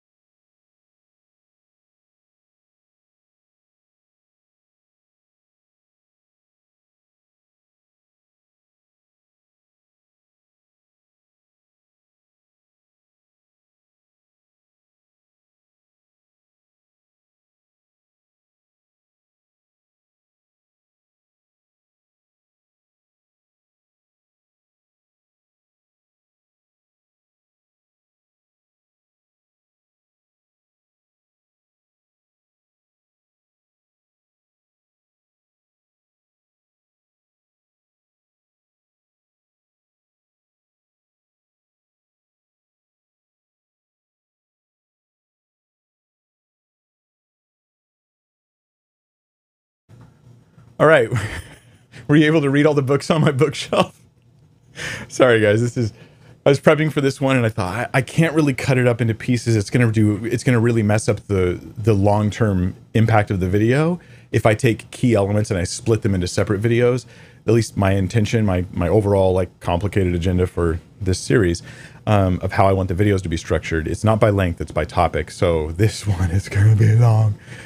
Let's look now at the egalitarian view of Colossians 3, verses 18 and 19. Okay, Colossians 3, 18 and 19 is only, it's just two verses. I covered it earlier. Looks like a complementarian type passage. Wives, submit to your husbands as is fitting in the Lord. Husbands, love your wives and do not be harsh with them. We're going to look at Lynn Cohick's uh, treatment of this one, and here it is. Lynn Cohick, the, scholar, egalitarian scholar, and who I consider all these scholars brothers and sisters in Christ. They're believers. They're evangelical Christians. They're not. They're not. Some egalitarians are like, yeah, the Bible's wrong. Like that's their that's their view. Um, these are not them.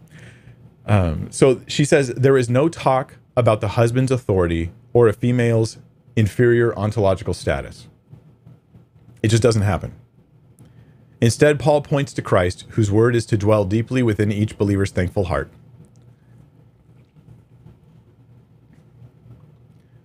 To respond to that, I will show you the verse again. No talk of the husband's authority. Now, this is a trick where we say, oh, it has the word submit, and it says husbands don't be harsh, which both imply there's authority, but it doesn't have the word authority, and therefore there's no talk of the husband's authority. But this is playing games with the scriptures. I don't think we can do this. She's told to submit. He's told not to be harsh. Both of these imply authority. And the original audience, all, and I don't know any scholar who would argue with this the original, and I'd be surprised if, if there are. Like, I'd be surprised that somebody would actually argue this.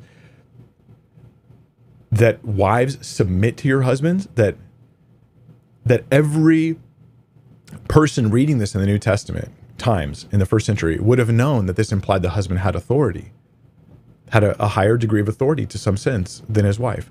They all would have understood the word hupotasso to mean that that that's it's just weird. To, it just sort of hand waved away to say that there's just no talk of a husband's authority.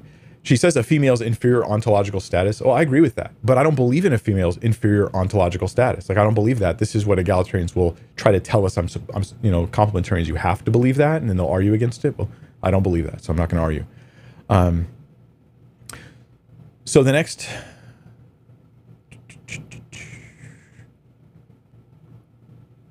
There it is. Um, in the sense of bitterness, uh, oh, I don't know why I read that part. Okay, so she says Paul warns against husbands using domination and power given them by their patriarchal culture such that they despise their wives. There's not a lot egalitarians write about Colossians 3 18 and 19. It's usually just passed over and not discussed much. But here, this is a good example of assuming the conclusion. Paul in Colossians is writing uh, when he says, Husbands, don't be harsh with your wives. He's saying, Don't use the domination and power, which means that she thinks don't be harsh does relate to authority, doesn't she? Right? Don't be harsh relates to authority. But it's the power given them by their patriarchal culture. That's assuming the conclusion. Where in Colossians does it say that the husband's role was merely and only given to him by a culture and not established in the created order. It doesn't say that. This is presuming your conclusion. This assumption, the assumption is that the parts that relate to male leadership in marriage are merely there because of culture, and Paul's only limiting them. But that's not what the text says. It also goes against her previous statement because you can't say there's no talk of a husband's authority and then it's a warning against using the domination and power. Well, how could it not be about it, but also be about it at the same time? I don't know how to reach somebody if they're convinced that male leadership in the home or church is inherently evil. Uh, what what could the Bible ever say to correct you? That's what the first video in the series was all about. Was letting the Bible speak. A more fitting view, I think, is that Paul is affirming the authority of the husband, but with important Jesus like caveats. The wife is told to submit, that affirms that authority, but the husband is told he's not told to take authority. Forced submission is a serious problem. That is not found in Scripture. The husband is told to love the wife. His focus is on love, not him being in control, right? That impacts his leadership. And this is hugely important because I can see being a married man for 13 years, I can see how a focus on leading can turn into insecurities and rudeness and constantly checking to see if my wife is yielding to me and everything and everything becomes a power struggle and that is an unhealthy environment for anybody but the bible does not encourage that so the husband is warned about not being harsh this isn't a rejection of his authority it's a how to use your authority kind of rule just like what Jesus said. So let me give you an example of a parallel to the Colossians passage. Mark chapter 10, verse 42 to 45. One of the important things about interpreting scripture is that it's not only consistent with the context, but it's consistent with other scriptures as well. Here's an example I think of that. Jesus called to them, uh, called them to him and said to them, You know that those who are considered rulers of the Gentiles lord it over them, and their great ones exercise authority over them. But it shall not be so among you. Some egalitarians take this to mean nobody has authority. A few do, most don't. Linda Belleville is probably the biggest example, I think. Um, I think that's a misunderstanding of Jesus here. But whoever would be great among you must be your servant, and whoever would be first among you must be slave of all. For even the Son of Man, even the Son of Man who has all authority, all authority has been granted to me, Jesus says, right? He definitely has authority came not to be served but to serve and to give his life a ransom for many jesus is saying hey those who are those who have the greatest power should be doing the greatest service for others. It doesn't mean they don't have power or authority. It's how they use it. That's what paul's doing with marriage. He's doing this with a husband's role of authority. Your authority husband is not there to just make sure it's always there. Your authority is not there for your authority. It's there so you could serve your wife so you could bless her so you could be a model of Christ to the family and you could lovingly self sacrifice, not just to make them happy, but to make them holy. Paul puts this into practice in his letters. He never claims he doesn't have authority, but he's always really careful about how he uses his authority. Let's look at um, 2 Corinthians 13 10.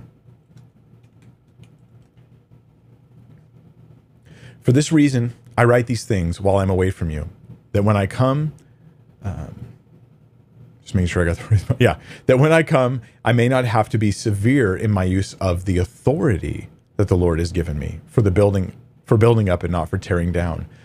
Paul had authority, but he tried really hard not to use it. And that's the nature of godly authority is it's under restraint at all times because we value, and I could do a whole study on this, but we value the free will, the love, the voluntary submission and obedience of the other people, and we do not value merely our authority. And that stops abuse. Egalitarians don't generally have much to say about Colossians 3:18, so I'm just going to kind of pass over to the next passage now. That's about it. So like unless you found those good rebuttals, then you think Colossians 3:18 feels like a pretty strong text for the classic view of marriage.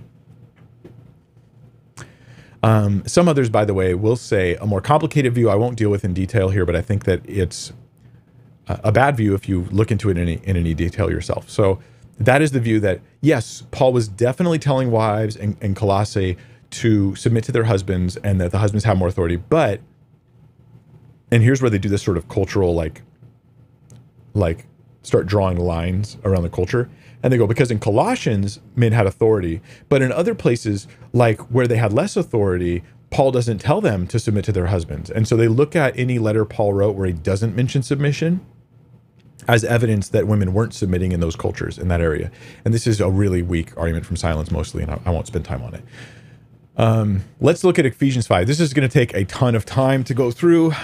Buckle up, prepare yourself, kick your brain on, get some more coffee, take a nap, go on a walk, maybe just go watch SpongeBob SquarePants,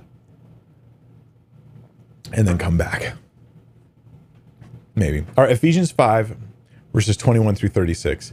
I'm going to focus on the work of Dr. Craig Keener here. This is Dr. Craig Keener. I personally love Dr. Craig Keener. Like, I genuinely love this man. Um, his attitude, his his heart, like from what I can tell at a distance. I mean, his the joy of the Lord, his willingness and desire to represent Christ. He's done a lot of scholarly work. He's a he's a highly regarded egalitarian scholar, but that's not his focus. Isn't just egalitarian stuff. He's a brilliant and accomplished scholar. No sarcasm. He truly is. Um, his Bible background commentary on the New Testament, I find really valuable, although I don't agree with everything, but I find it very valuable. And it shows his deep insight into the ancient culture, the Jewish and Roman culture of the time. This is pretty, he, he, he knows his stuff, right? He's also a wonderful brother in Christ from all that I can tell. Um, anyway, I say this because I'm going to be disagreeing with him a bunch, and I, I feel bad. I, I'm, I'm just being honest with you guys as a human. I feel bad because I, I look up to Dr. Keener as one of the guys I really respect, care about. So I apologize, Dr. Keener. If you have a chance to watch this, I already I didn't even have to say any of that because I know you enough to know that you would just you would take everything the right way because you're you impress me with that skill of yours. Okay. Um, let's, oh, we're going to look at his book, by the way. Um, in his book, Paul, Women and Wives, I have quoted from it several times in this series, but here I'm going to deal with it in more detail because he deals with Ephesians 5 in great detail. He gives a ton of time to it. Let me show you guys. He says in uh, Paul, Women and Wives, because Ephesians 5, 18 through 6, 9 is the longest passage in the New Testament addressing household roles, and because most elements of other passages are found here, we've devoted the second half of the book to an in-depth analysis of this passage. Now I've read through and tried to like work through impo important points that I thought were worth bringing up to you guys. So this is good. Craig Keener will do a much more in-depth treatment than most others will. Most people have a chapter on it or part of a chapter on the topic. So I'm focusing on Craig Keener's analysis analysis of Ephesians 5, but other egalitarians say the same stuff. Right? Not not as much detail, but they'll say many of the same things and I'll sprinkle in some other scholars as well, including Philip Payne and I, uh, is it Belleville or I don't know. We'll see. I forget who. I don't know what's going on. All right. The final reason why I did Keener uh, is because I asked you guys a while back in a Facebook post, like, what egal- egalitarian scholars have you personally found very influential? And N.T. Wright was one of them, so I included some of his work previously. Craig Keener is also one of them. And so I want to make sure I'm not only addressing people who I think are influencing scholarship in general, but people who are inf- influencing people in general. And so it covers all the bases. So Keener's case, here's his case on Ephesians 5. It will depend on saying that the social setting of Ephesians explains elements people have mistakenly come to think are God's commands for all marriages. Here we go. The question that this chapter on social settings addresses is Why does Paul, who calls for mutual submission, we'll get into this in detail, mutual submission, deal more explicitly with the submission of wives than with the with that of husbands? The answer this chapter proposes, in short, is because he was smart. His social statements are among the most progressive of his day, but if he wanted the gospel to gain a strong hearing in the Greco Roman world, he needed to temper his radicalism with prudent sensitivity to his culture. So there's two main elements in this, and, and he explains this in more paragraphs. You could check it out in his book yourself if you like. Um, the the two main elements of Keener's interpretation are all going to hang, I think, on these two things. One, the concept of mutual submission that what Paul really requires is mutual submission. Everybody submits to everybody. Husband, wife, you both submit. Husband submit too. Therefore, there's no, and this is the key part, there's no power imbalance in marriage. This is why I say by submission, I mean a power imbalance, because egalitarians will say, some of them will say, hey, but we, of course there's submission. It's mutual submission, right? But that, that would be no power imbalance. They both submit to each other. This is an extremely popular view in amongst egalitarians you will see the term mutual submission everywhere. The second point that Keener will will depend on for his thing, which is what he talks about in the second part of this quote, is what I what I have come to call cultural bowing. The idea that whatever looks like it's implying unequal submission in, in the scriptures here, it's only meant for some people in special cultural circumstances. In other words, hey, if you're in Greco-Roman culture, if you're in Ephesus, yeah, you do that. But if you're in somewhere else, you're in modern um, Portland, Oregon, then it applies differently. You don't have to do that. There's an alternate view of, of, of cultural bowing, and sometimes scholars will argue for both, that says, and Keener argues for this, um, the reason why he wrote stuff that looked like wives would submit was because he wanted to make the Romans think that Paul wanted women to submit unequally to husbands even though Paul really didn't want that, he just wanted to make the Romans think that. This seems to be one of Craig Keener's views, and I, I think it's got some significant issues with it. I'm sad to say. So, Keener's case will depend on whether he can prove these two things mutual submission and cultural bowing. Is mutual submission really what Ephesians is teaching? And is cultural bowing, bowing in one of those two senses a real present element in Ephesians 5? So he starts by examining the culture of the time keep in mind, the point here is to say that if we understand the culture, we'll see the passage does not mean what complementarians have thought it means. That wives in general are supposed to submit to their husband's leadership. That's not what it means. If you knew the culture, you would understand this.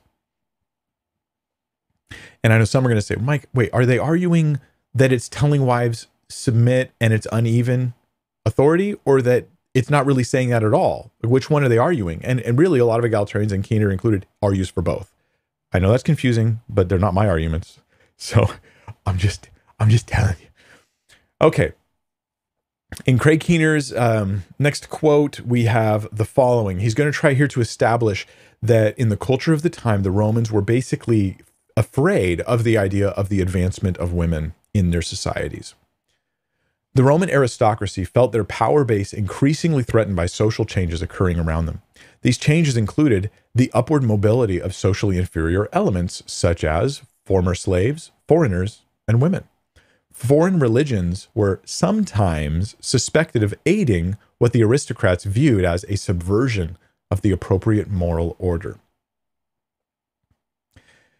Do you get the idea here? Okay, we're, we're getting cultural setting that changes the way that you might approach your understanding of Ephesians. Let's go to the next one.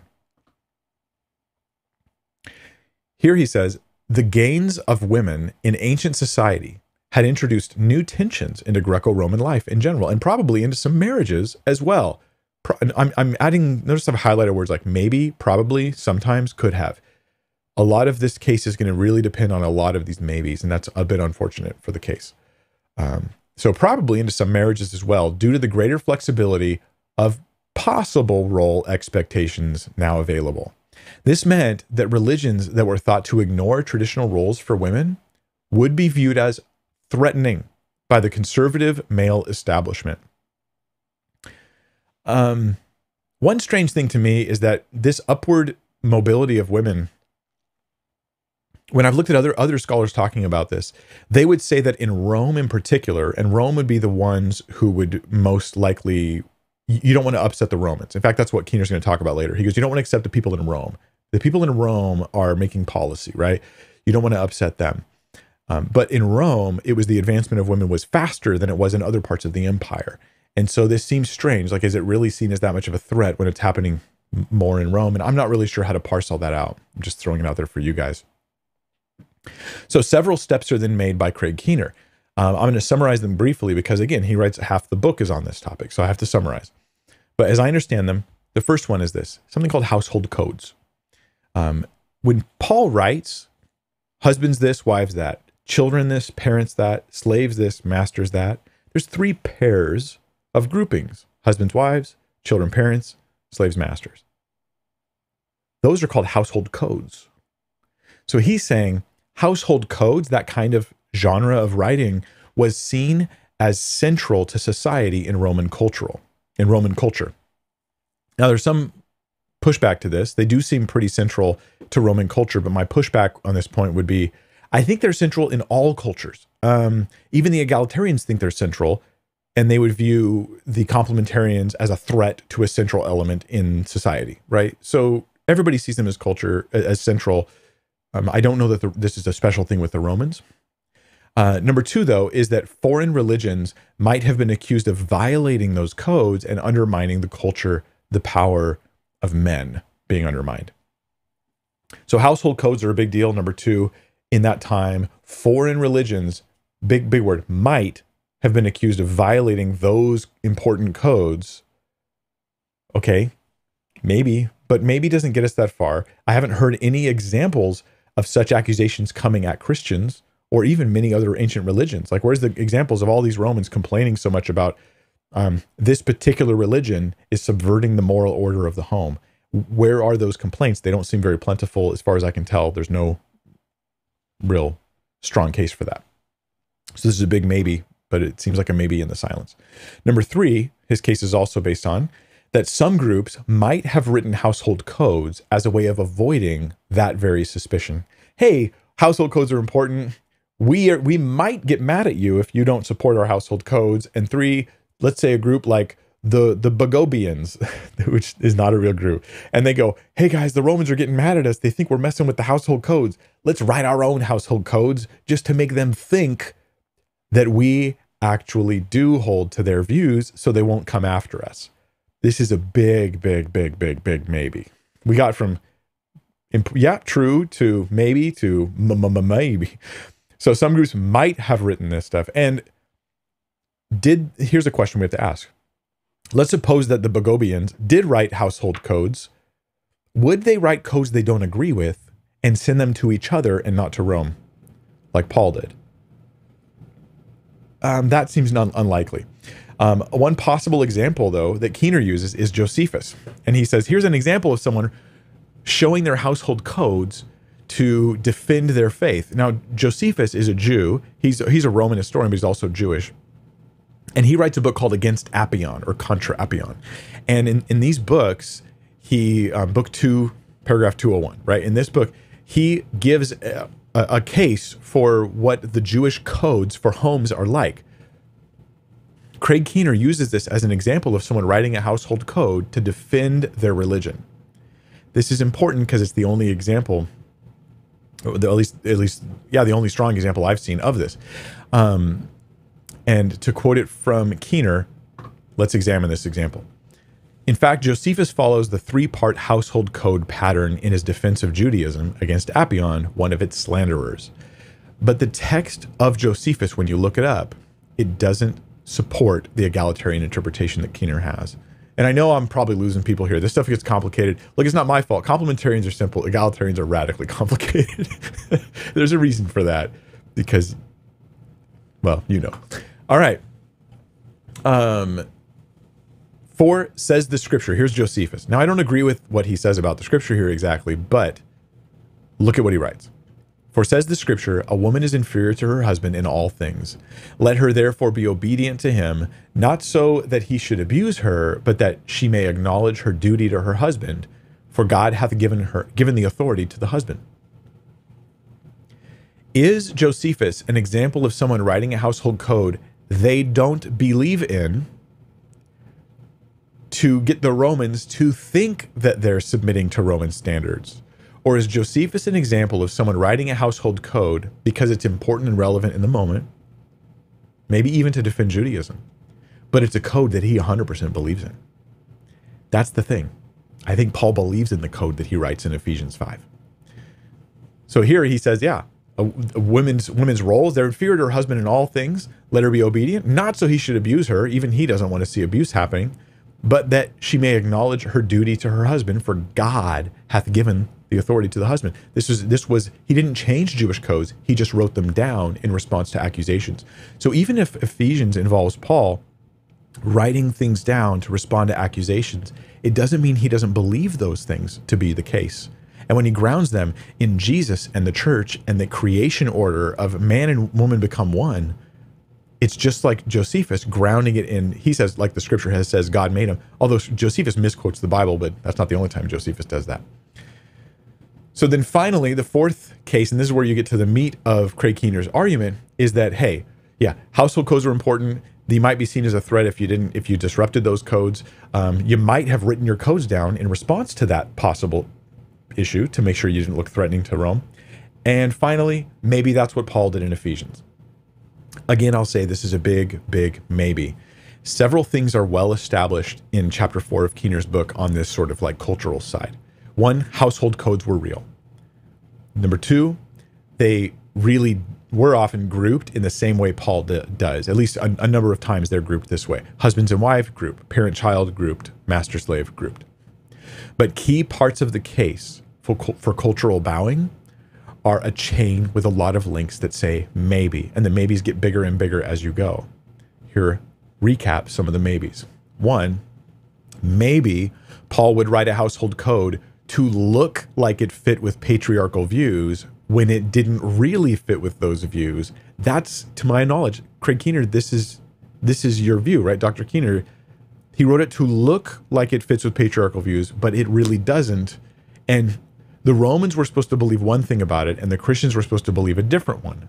That's number two, right? The Paul here supposedly would instruct Christians in a letter to Christians written to Ephesus with an elaborate and hard to decipher household code that Christians were supposed to interpret as mutual submission and pagans were supposed to interpret as wifely submission.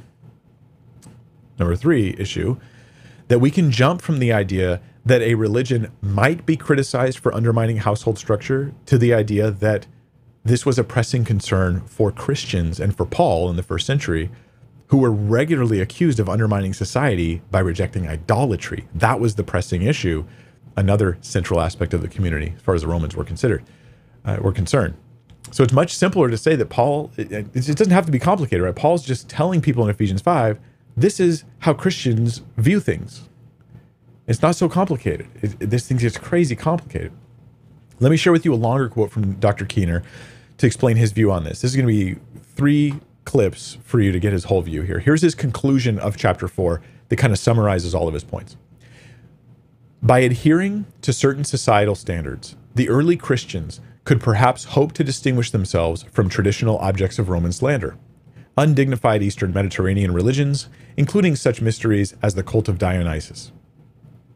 This is not to suggest that Ephesians 5 18 through 6 9 is to be read as a direct defense of Christianity to Roman readership in the way that Josephus' tract against Apion defends Judaism against the charges of its opponents. After all, this letter was no doubt sent to Asia, not to Rome. Further, it was addressed to Christians, not to the opponents of Christianity. Good points, I would say but by encouraging Christians to live in a way that would silence some of the needless objections raised against the faith, as he has done in his previous letters. Paul was contributing to a cultural defense of Christianity that would hopefully gain a better hearing in a Roman society. When he had written to the Romans, he had encouraged their support of civil authorities. Keep that in mind. I'm going to respond to this in a moment. Now that he himself was in Rome, the issue that would be would contribute to a lifestyle defense of Christianity had no doubt become even clearer to him. There is thus reason to think that Paul, awaiting trial in Rome, would have been co- contemplating strategies to appeal to the power brokers in Rome whose decisions could set precedents for policies towards Christians elsewhere in the empire. His household codes may represent a long range response to basic Roman cultural objections to the gospel. Stressing the wife's submission would be important for evangelizing. And he goes on, but I think you guys understand his point, his conclusions. So, is are, are, are we saying here, and I don't know, I don't actually know for sure what, what Keener's saying here in this regard, that Ephesians is teaching wives to submit Roman style to defend the church against Rome, or he's teaching mutual submission, egalitarian style, which would have greatly offended the Romans. Most egalitarians will tell me that Ephesians 5 says mutual submission, not wives submit. Craig Keener seems like he's on that side, but then he also says, but he wrote it this way so the Romans I I think I think there's problems there. But but let me offer some other pushback that's more I think fundamental for the case. We need to ask how much Paul was actually concerned about avoiding imperial persecution because of teaching things that would trigger Rome. Because I don't know that he was that worried about it. In what ways, here's a question we can ask that gives us an example of Paul's attitude towards being persecuted for misunderstandings. In what ways did Paul incite persecution during his ministry? Well, for one, he openly called for the people everywhere he, went to cast out their idols and empty out the, the pagan temples. This was a huge, huge deal. In Acts chapter 19, Paul's in Ephesus. Like the Romans, they saw this, we know, maybe more so than the household issue, saw this as a huge affront to their whole culture and their system of doing things. But when Paul was in Ephesus in, in Acts 19, in the same context as the letter to the Ephesians, there he's getting hard pushback from people threatened by the removal of idols from the homes of Christians right? The Temple of Artemis is there, the idol making businesses are there, and the overall political power of the city is connected to these idolatrous religions. And so it feels like their political power is under threat, right? They're going to make our city look bad. They're going to shrink the power of our culture if they get rid of the worship of Artemis. Paul doesn't care, he will not stop. Idolatry was an integral part of city and state politics. A known threat to idolatry was Christianity, and Paul didn't make any space for that at all. Even though it would bring out imperial persecution at some points, he didn't care. Let's look at what he did in Athens um, in Acts 17. I'm just saying Paul Paul's not that strategic when it comes to the, that style. He doesn't normally do the thing that Keener suggests he's doing here. Being then God's offspring, he says to the pagans, we ought not to think that the divine being is like gold or silver or stone, an image formed by the art and imagination of man. Then he calls it ignorance that they've been worshiping idols. These times of ignorance God has overlooked, but now he commands all people everywhere to repent because he's going to judge y'all. He does the, the classic like turn or burn thing, and he does this with with fully well knowing that it could cause persecution, and it did cause real persecution. In the first century, uh, well, I guess it's early second century, we have letters um, between Emperor Trajan and Pliny, who was like a governor for Rome. And Trajan had called for the persecution of Christians because one of the issues is people aren't buying idols anymore and the temples are losing their power and this hurts the power of our empire and our political strength. And so Pliny had been instructed by Emperor Trajan to persecute Christianity to restore the supremacy of the approved Roman idol worship. What I'm saying is Here's a known threat to Christianity, unlike household codes. Not really known, just a big maybe.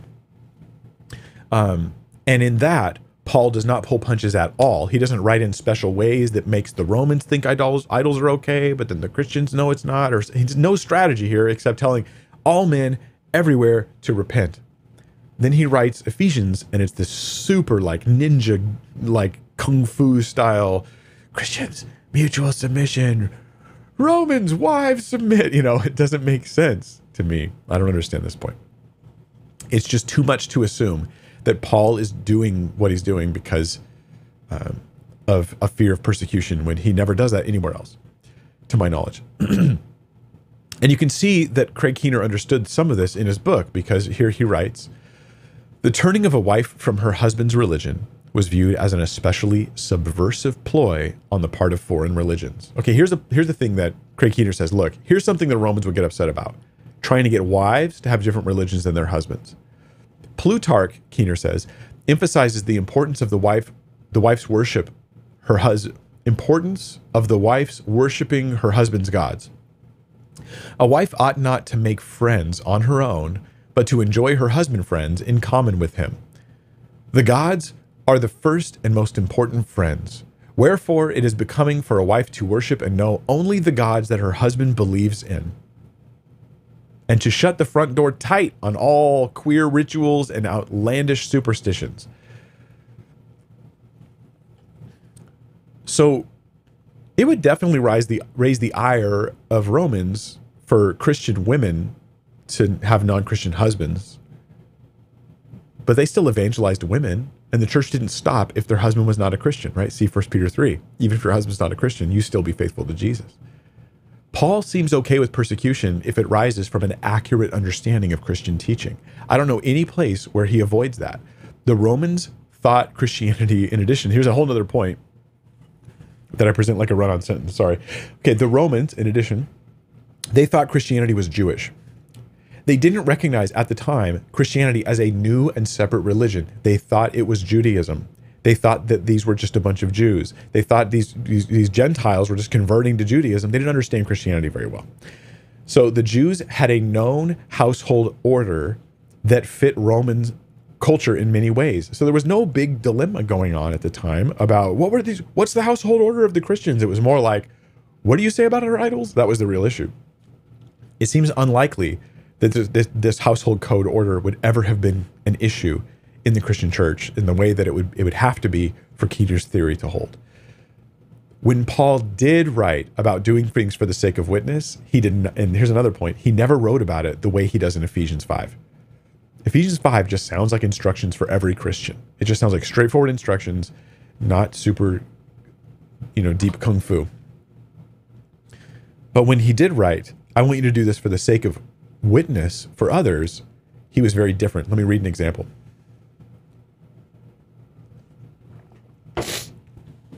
This is 1 Corinthians 9:20. To the Jews I became as a Jew in order to win Jews. That's for evangelism, purely for evangelism.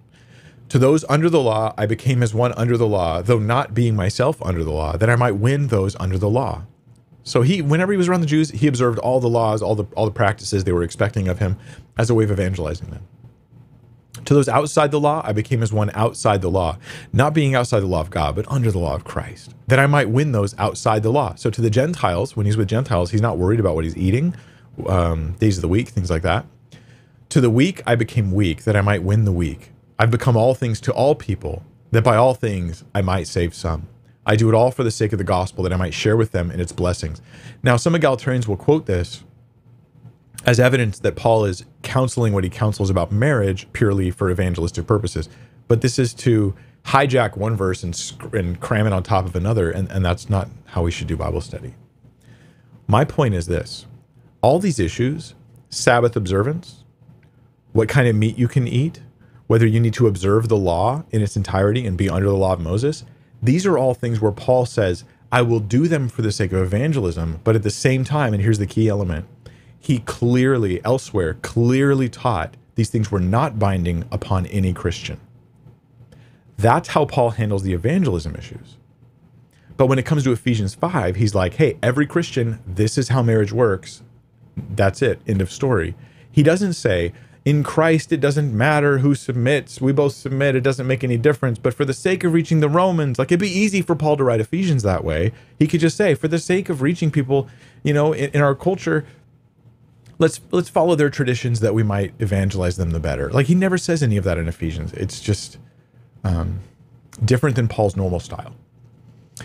There's some remaining issues before we get on to some more of uh, Craig Keener's case. Um,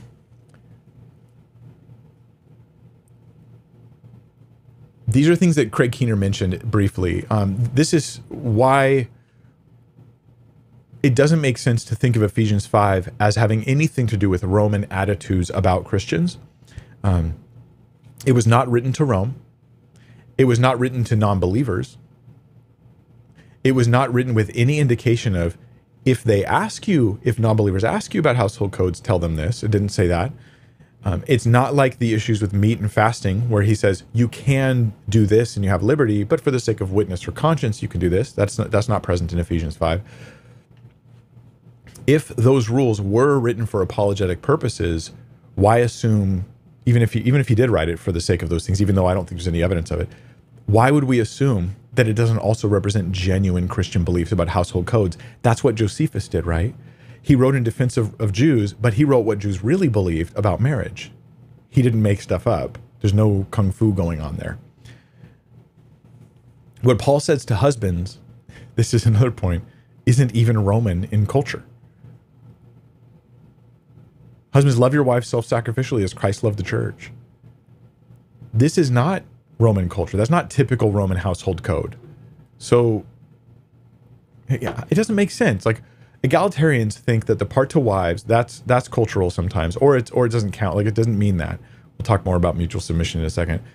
Um, but then the part to husbands is always binding in all cultures for all time, and that is strange, and that doesn't fit Roman household codes. So if this was a defense for the Romans, why does it not fit their codes in the first place? It, it, it all just seems weird. So there are specific indicators. Excuse me, there are not. There are not specific indicators in Ephesians 5 that this is a transcultural uh, or a Oh, I'm sorry. Forgive me. I just got lost in my own notes, you guys. I I, I apologize. I should be a better teacher than this. I truly should. I, you can blame me all day long. Okay, just, this is going to be the longest video in the entire series, probably. So forgive me for that. Um, um, are there specific indicators in Ephesians 5? In Ephesians 5, specific indicators where you see in the passage itself, not just in the culture outside, but in the passage itself, you can look at the verses that show us that this is either a transcultural principle or that it's cultural bowing. Which one is it? I think the answer is that there aren't any indicators that it's cultural bowing and there may be indicators that it's transcultural because it grounds it in creation and in the relationship of Christ in the church, right? For the two shall become one. The husband is the head. That's the nature of marriage, right? which is which is not something that was commonly stated, to my knowledge, by the Romans. And then in redemption, wives submit to your husbands as as as the church submits to Christ. Wives, you're the body; he's the head. Church, you're the body; he's the head. This is not this is not about culture. It's about honoring Christ. Let's go to the next quote from Dr. Keener. He says, But for the sake of their witness and their survival, this is where it gets complicated. Paul portrayed Christian ethics in terms that would best communicate their culture to their culture the moral superiority of Christianity this is what, from, from, what I can follow in Dr. Keener, Dr. Keener's work, this starts to set things up for a very nuanced interpretation of Ephesians 5. I've mentioned it pre- briefly, but Paul seems to, according to Keener, simultaneously he echoes Roman expectations for marriage, which means the guy's in charge, right? Um, but this is purely for the survival of Christianity. That that claim has not been proven, but that's in there. Yet within that, Paul's actually sharing Christian ethics that are different than the Roman ethics that he makes it look like he's sharing. To me, this sounds like it, it, it could turn into this weird case where the Christians, here's the secret info, you know, and then Romans like, yeah, well, I submit, you know, go Rome. Um, yeah, we need clear exegetical study to prove these things. This is getting into strange territory, in my opinion. I, I, I hate to say it. So here we shift to the verse by verse stuff. Now we go to Ephesians 5, verse by verse. This is where we get to see how um, the egalitarians interpret not just the culture. I dealt with the culture and and are we seeing remnants of the culture and, and fears of persecution and all this in Ephesians 5. Now we're going to look at the verse by verse stuff. So here we go. Dr. Keener on this. Paul avoids the nuances in Ephesians 5 of obedience and ruling, but he does not mind calling on wives to submit or husbands to love because this was the behavior that should indeed characterize all Christians. Let's talk about what this quote means because it's how an egalitarian might interpret wives submit to your husbands. They'll first say something like, Look, notice the words Paul doesn't use. obey, obey or rule, obedience or ruling. He never uses those words. Keener interprets this as Paul's avoiding those words. That's different, right? Um, like, notice that Paul avoided the word horse while he was talking about wives and husbands. He really avoided the word horse, didn't he? Like, I could just say he avoids any word I want, but I could be missing out because did I expect him to use that word? Did he need to use that word to communicate something? Is there a clear indication of why the word missing, obedi- obedience and ruling is missing, is important? So it's not just that Paul didn't use the word obey for wives or rule for husbands, but he avoided those terms for a specific reason because all Christians, according to Keener, are to submit to each other and to love each other this implies that there's nothing unequal or truly different between what a husband or wife is called to do because they're both called to love and they're both called to submit. The love and submit language, this is key, is just to make it palatable to Romans. So when you go to Ephesians 5 and you get to verse 21, the beginning of the section, right? Really, I mean, it, or it connects at least. Submit to one another out of reverence for Christ. And they'll say, guys, the egalitarians, look, husbands and wives, everyone submits to everyone. Submit to one another. They don't take it as meaning, hey, every everyone you have someone to submit to, but rather everyone you have everyone to submit to. That's an important interpretation point. Then they'll say, so wives submit to your husbands. Well, that's just what everyone's doing. So the husband also submits. Husbands love your wives. Well, but so why everyone's called to love everyone. Everyone do everything for everyone. That's the interpretation, the one egalitarian interpretation of this passage. This interpretation, though, uh, from Dr. Keener, even though it only says for wives to submit and only says for husbands love, um, it has um, Paul writing two different things to two different groups of people. And I've mentioned this before, I'll mention it again because I think it's a key issue. Romans, I want you to think that wives submit. Christians, I want you to think there are no role differences relating to authority in marriage because everyone submits and everyone loves. It's a strange interpretation of scripture that it was written in such a strange way. Why is it that most Christians throughout time have interpreted it the way the Romans were supposed to be misled to think it meant, um, instead of the way that Paul actually meant it for Christians? That that seems like a strange thing.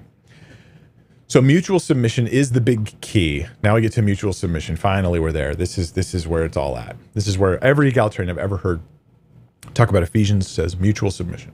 So it's in other words, this is a very relevant issue. Interestingly, they say this is Dr. Keener. When Paul calls on wives to submit in Ephesians 5:22, he presents this as a particular example of the submission of all believers to one another. He goes on. Um, wait, did I? Uh, Paul uses the traditional form of household codes discussed above, but by grounding the wife's submission in general, Christian submission, he qualifies the meaning of those codes. Yes, the wife should submit to her husband, but the husband, following Christ's example of self sacrificial service for his wife, also must submit to his wife. So this is different than than the egalitarian saying um, a husband doesn't have to submit at all. Um, don't know why that's not working now. Uh oh. Because I've been going on for too long, maybe. Um, da, da, da, Just do that. Okay. Um, it's different than saying wives don't submit. What they're saying is it doesn't mean much when it says wives submit because husbands submit too. So it has no relationship to authority. So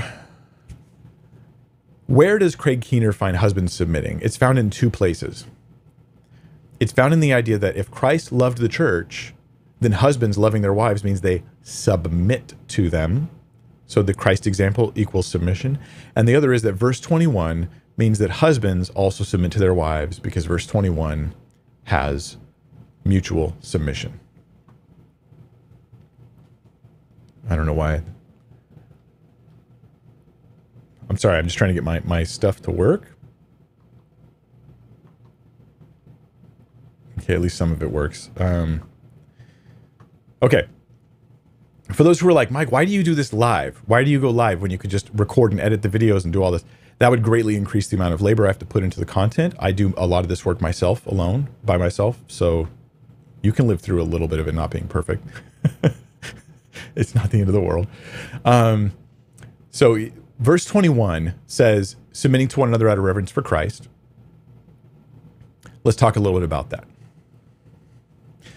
If you're going to be consistent, if you're going to take these views consistently, then you have to remember there's three groups of people there's husbands and wives, Christ and the church. Um, they're related, sorry, one group really. Husbands and wives, parents and children, masters and slaves. And if you take the rule that verse 21, it means everyone submits to everyone, then any instruction here where it says husbands, right? Wives submit to your husbands, husbands love. Children obey your parents, right? Parents don't don't provoke them to wrath. Train them in the ways of the Lord. Masters obey or slaves, sorry, obey your masters. And masters, right? Don't don't threaten them. Don't be don't be wrong or mean or cruel to them or treat them as less than fully valuable people. Um, what you're to have to do is say that all three of these are equaled out. This means that if husbands have to submit to their wives, then children have to submit to their parents, along with parents submitting to their children. Well, that doesn't make any sense. Are masters supposed to submit to their to their servants, their slaves? Is that what Paul is saying in Ephesians? No, because the the verse, the Ephesians 5 passage just doesn't it never meant that to anybody at the time. Submitting to one another doesn't mean every individual submits equally to every other individual. What happens in this passage is Paul says, submitting to one another, and then he gives three examples of unequal submission husbands and wives, parents and children, slaves and masters. And he calls them to do it out of reverence for Christ. This doesn't undo the imbalanced stuff that's going on. Wives are told to submit, husbands are not. This is just seems to me to be an obviously an obviously bad way of studying the Bible. I think it's I don't want to be mean here, but I think that this perspective of verse 21, taking that and stretching it out as this sort of like umbrella to drop strangely onto the rest of the passage doesn't recognize there's three groups of every one of them an imbalanced authority relationship every single one. And unless you're going to say parents submit to their children in the in the sense that a first century christian would have thought wives submit to the you know and children submit that those things were relevant. I, I don't even know how i don't it's i feel like you're just you're on your own if you want to say that. Um do parents submit to their children? You might say, in some ways they do, don't they, Mike?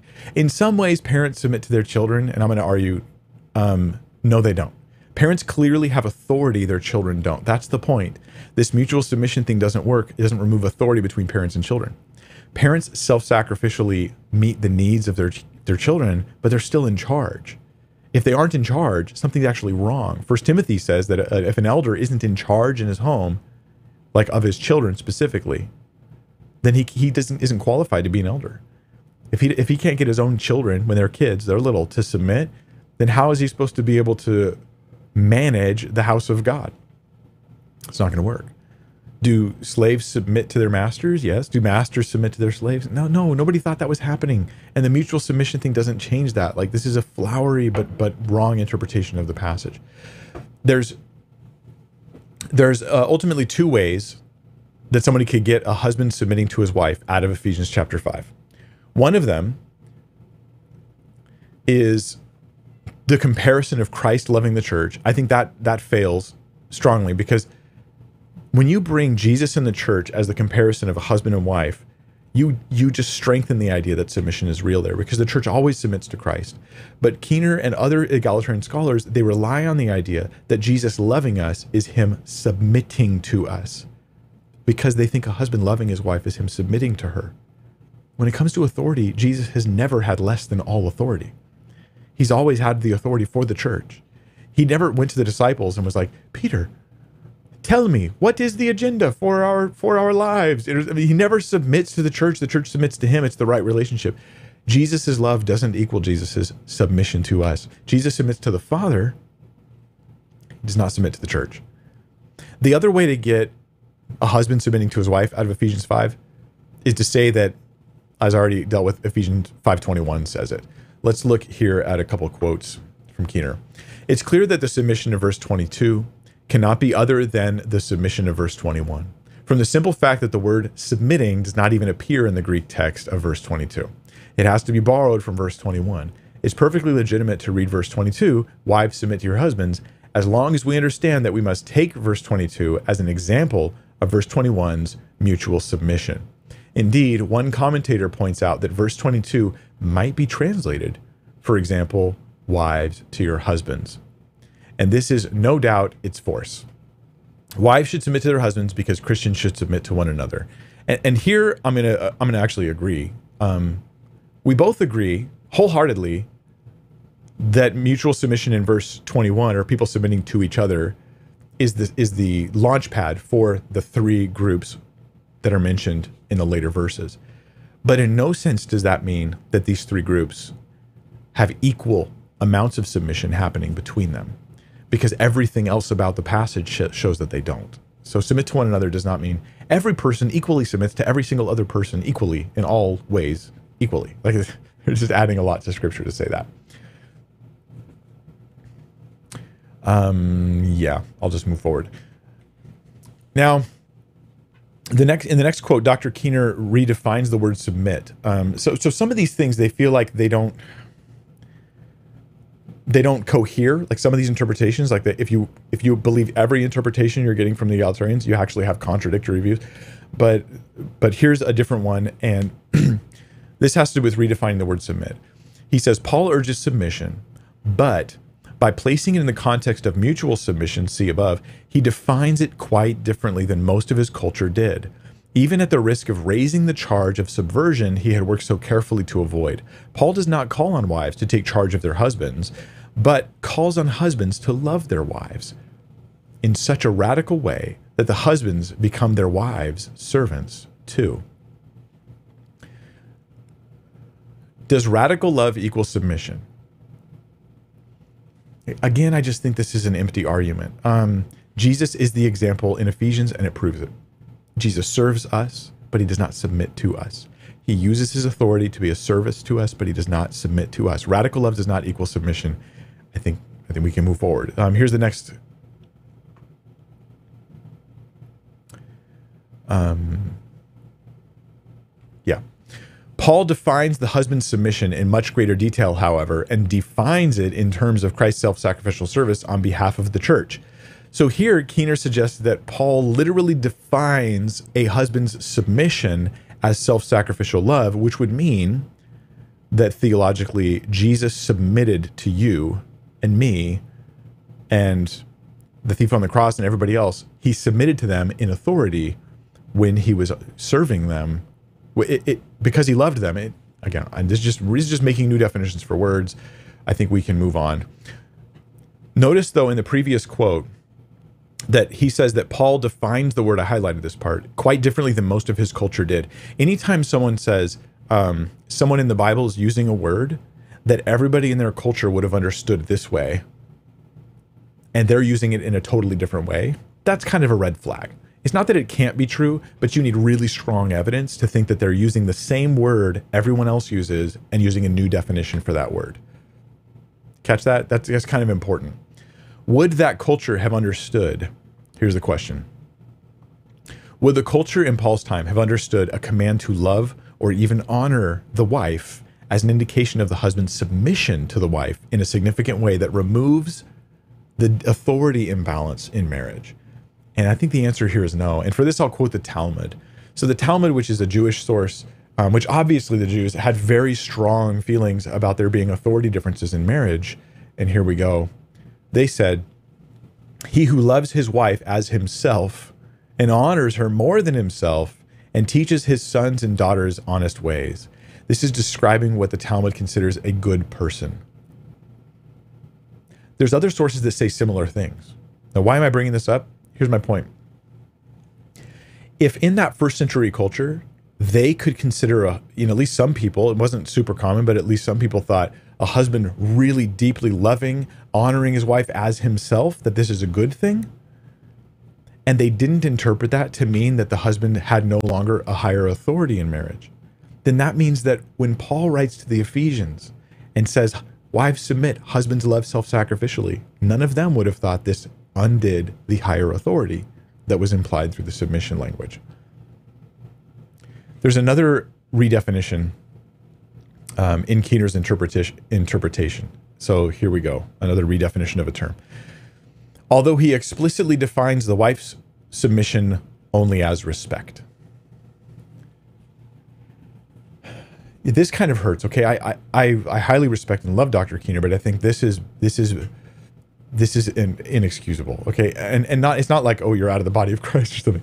It's just a significant mistake that that shouldn't we shouldn't overlook. Okay, according to Dr. Keener, Paul redefines submission so that submission, when it relates to the husband, is love, and somehow love means submission. It, that's a confusing circular thing um, that the culture would not have understood because look at the Talmud. But he also redefines the wife's submission. When it says wives submit, he defines that explicitly, not even implicitly, but explicitly, as respect. In Ephesians 5:33, when Paul summarizes the instructions to wives and husbands, he says, "Husbands, love your wives, right? Wives, respect your husbands." Does that mean he is defining the word submission as only, only respect? No, um, no, it doesn't. There's nothing r- reasonable about saying that. Ephesians 5:33 it does say wives respect your husbands. But why did Paul ever write wives submit to your husbands earlier on and that husbands the head of the wife as Christ is the head of the church and as the church submits to Christ so wives ought to submit to their own husband? Why would he write all that if submission was only respect? Do you respect Jesus but you don't submit to him? You don't obey him? No. Um, here's alternate views. Submission's involved in respect Submission is part of respect in relation between a husband and wife. Respect is part of submission in this particular relationship. Basically, the two respect and submission are connected, but one does not become the new definition of the other. There's nothing in the scripture that indicates that. Why is, is Dr. Keener going through such great lengths to redefine submission? Because remember, his view is that Paul is telling the Christians mutual submission, and then we're going to redefine that as love and respect, and it has uh, there's no authority imbalance. But he wants the Romans to think wives are submitting and we're observing normal patriarchal Roman views. So we're going to use a word that the Romans will interpret one way, but the careful eyed theological Christians will interpret a different way, even though in history they didn't. Consider this passage from Dr. Keener and what you think it implies, and then I'm going to work through it a bit.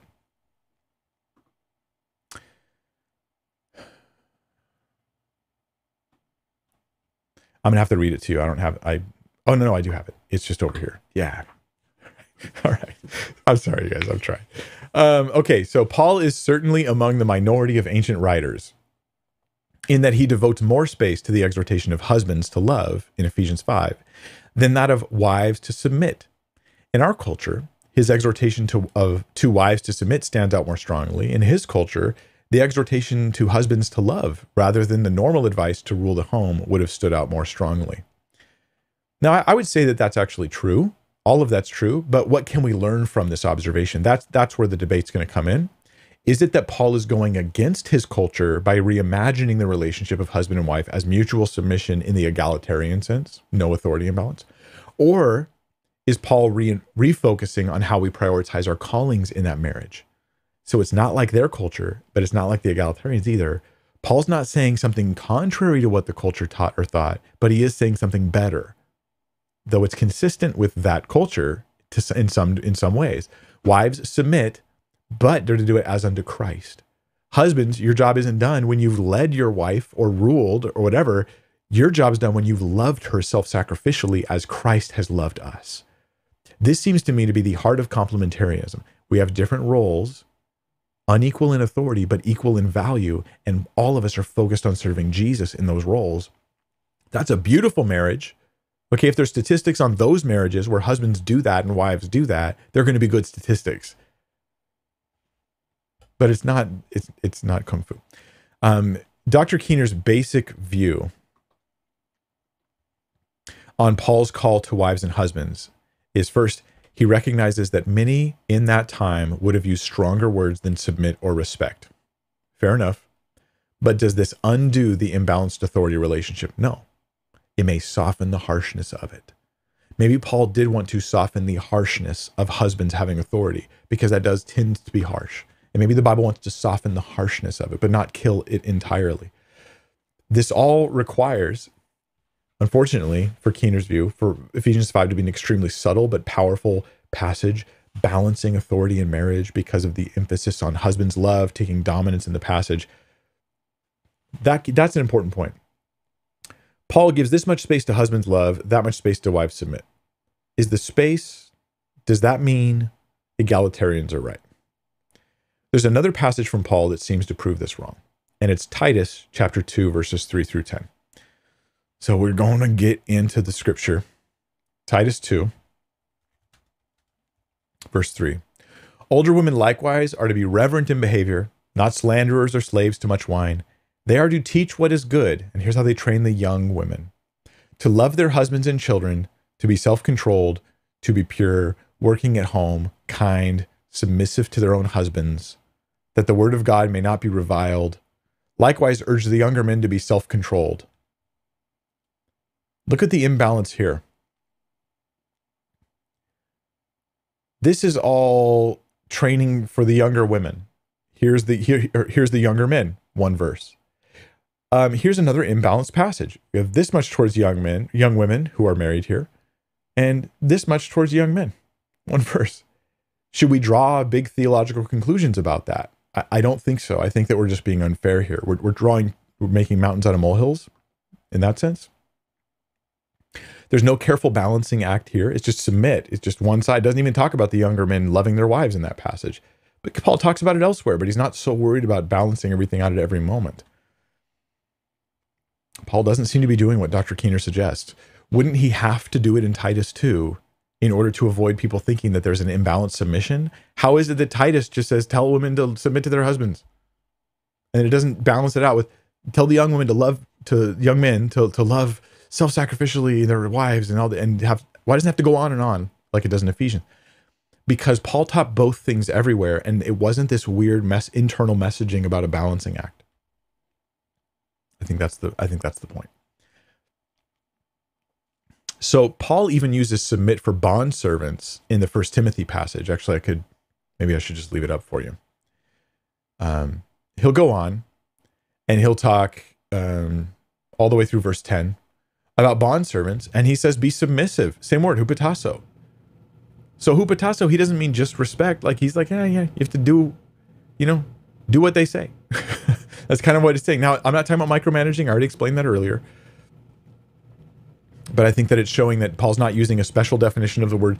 In other words, Paul would have to be having a special definition for submission in Ephesians that is not the same definition in Titus. But in Titus, he uses submission about wives as well. But maybe he means submit in one way and then he submit in a different way. And it just gets way too complicated. And it's all different than the culture would. Um, again, in Titus 3.1, Paul uses submit again uh, implying obedience within reason, when in Titus 3:1, remind them to be submissive to rulers and authorities, to be obedient. He even describes submission as including a sense of obedience here. So why should we say that when Paul says submit, it means not obey? Like that's the part where it's just it's all just we're wasting our time with with these arguments. I, I kid you not. I'm sorry I have to make such a long video about it. Um, but I have to because there's a whole massive churches full of people who are caught up in these arguments that are not good and they don't know it because they've never really evaluated it. They just heard it and thought, yeah, that sounds well, that works good for me. I like that. Finally, um, there's the meaning of the Greek term. The word submit means, let me just quote BDAG, BDAG, the probably one of the most authoritative New Testament Greek resources. It says that the word submit here means to cause to be in a submissive relationship, to subject, to subordinate. That's how Paul probably defines it, not as only respect. That's weird. I have some notes in my notes, uh, and I shrunk the font so I wouldn't teach through it there, but it's in my notes. If you guys catch those off the website, I'll put a link down below when I'm done. On Paul and his culture, there's a few things there I'll, I'll, I'll, I'll have in the notes for you if you want. But let me just summarize here where Paul is different than his culture, because here's where we lose the baby with the bathwater. Paul is different than the Roman culture, but not in the egalitarian sense. I think he's different in the complementarian sense, as I've studied these things.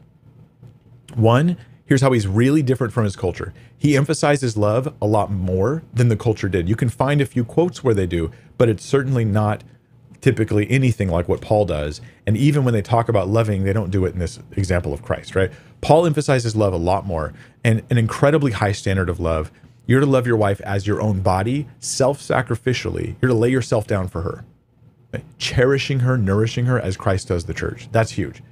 Number two, here's how Paul is different than his culture. He never tells husbands to force their wives to submit, it's not on them. Here's another quote. This this is from Dr. Keener, and I agree with it. Right? There's no talk about the husband's authority or a female's inferior ontological. Oh, that's the wrong one. That is not from Keener. That's Lynn Cohick, different quote I shared earlier. Paul does not address the husband's role in the wife's submission. He does not urge the husband to inculcate submission in his wife. Husbands, it is not your job to quote the Bible at your wife all the time whenever she disagrees with you. That is not your job. Like your job is love her. Her task is submit, but it's not your job to make her do her job. And the minute in marriage where you make it your job to make them do their job, you are headed down a scary path with like spikes and thorns and thistles and briars and monsters and weird slippery goo and all kinds of like acid rain flowing down from the sky. Like this is bad news. Do not focus on what they need to do. Focus on what you need to do. That's the emphasis of Ephesians. Unlike the culture of the time. Number 3, Paul's different than his culture in this. Paul says it's all about Christ. Okay, the culture didn't care one lick about Christ. Wives, you're to submit as unto Christ. Husbands, you're to love as Christ loved the church. This inspires and strengthens marriage. There is always a motive to do your part fully, even when they're totally not doing their part, because you're looking to your Savior who did everything fully when you did nothing, who loved you when you were yet sinners, died for you. You're you're seeing him and so there's always motive to do what's right. That is totally different than the culture of the time. And number four paul addresses each rule to the person doing the rule right this is similar to how he doesn't tell a husband make your wife submit or a wife make your husband love but in addition to that he only addresses the rule to the person doing the rule more often than not though not always in the ancient household codes a man is told what the man and the woman should do but not not here. Not here. It's the woman who's told what the woman should do, the man who's told what the man should do. Children who are told what the children should do, parents what the parents should do, masters what they should do, slaves what they should do. There's a strong Christian principle of taking full responsibility for your own part in any relationship or any duty that you have and not obsessing over what everyone else should be doing to the detriment of your own responsibilities. Okay, that's how Paul's different than his culture, but this is the important part that I think egalitarians miss. This is how Paul is not different from his culture. He says, Wives, submit. Nobody there was confused about what Paul meant. Nobody. Today, they are, but that's just today, right? We're, we're the ones with the weird culture. Everyone would have taken that to mean an imbalanced authority relationship between husbands and wives. And we are not wise to interpret things to mean something totally different than the obvious meaning to the original audience. That's a hermeneutic principle. It's one thing if the original audience would have scratched their head and been like, I don't know what that means. Maybe one day we'll figure it out. Maybe we'll have more insight than they did. But if they all knew exactly what it meant, and we all know it means something totally different than what they all knew it meant, we're probably wrong. Number two, how Paul's not different than Roman culture. He thinks love is of supreme importance, right? They thought this this too. That love was really important. Like surprise, surprise, they really did think this. And there's a lot of weird literature written on this nowadays, but they did think love was important, contrary to some people's claims. And some scholars complain about this. They go, they act like nobody cared about love in marriage back in the day, but that's not true when you look at the sources. One problem is that our culture sometimes sees romantic love as an involuntary gut thing, right? But the Bible issues love as a command, something you just have to do. And we focus on this, but I just feel like I'm not in love anymore. And I'm like, dude, walk in love. Don't be like, uh, I'm in love now. I don't know. It just happened. It's like, no, walk in love, behave in love. That's a different perspective.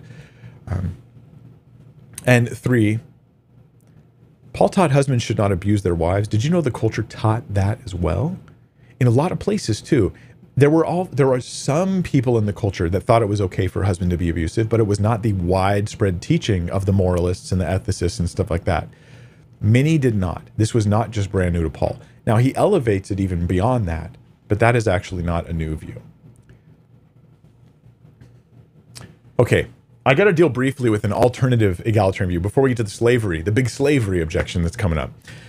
An alternative egalitarian view is that maybe Paul did mean to support authority imbalance So we read Ephesians 5. It's not this mutual submission thing. It's like, nope, wives submit, husbands love, but you are, there is an imbalance in authority. Maybe Paul did mean that, but he didn't mean for it to be transcultural. This is another view that Craig Keener sort of holds. Now, it seems to me it's in conflict with his other interpretations. And so I don't know what's happening. It's like we're throwing spaghetti against the wall to see what'll stick. Um, but here's a quote. Um, when Paul writes in Ephesians, Paul's responding to a specific cultural issue for the sake of the gospel, and his words should not be taken at face value in all cultures, right? Because face value would imply I, don't know. I still don't know. does face value imply mutual submission or does face value imply authority imbalance? Because if I don't take it at face value, then it must be that it supports the complementarian view. But if it says mutual submission, then why am I not taking it at face value? I, I don't know. These these are mutually contradictory interpretations as far as I can tell. Um, so many egalitarians, though, will hold this view that Paul did mean to say wives submit, and that's an imbalance in authority, but that it was only for a local culture, local time. Um, for this, the pro, the case you can make for this would be hey, they expected a wife to submit and they would be upset if Christians taught otherwise. And that's probably true. And that's it. That's the whole case for. I, don't know of any case that shows that Christians did teach otherwise. That I, I, I mean, if if Christians taught that um, you could only eat by shoving things up your nose, it would probably make the culture around them pretty upset. Does that mean that that's the reason why Christians didn't teach you can only eat by shoving things up your nose? No, like this is it's just assuming the conclusion to say that. So there's not much for this. Against this view, I'll list several things. Ephesians doesn't have language in it that says it was for the culture, but that it was tied to gospel related issues. Christ in the church and creation. That's not for culture. And then Titus 2, verses 1 through 6, which I've read earlier, but they this bears down on this really dramatically because Titus 2 gives us a test case where Paul actually does talk about a cultural issue related to wives submitting. Look at this. It says right here that um, they should train the younger women to submit to their own husbands that the word of God may not be reviled.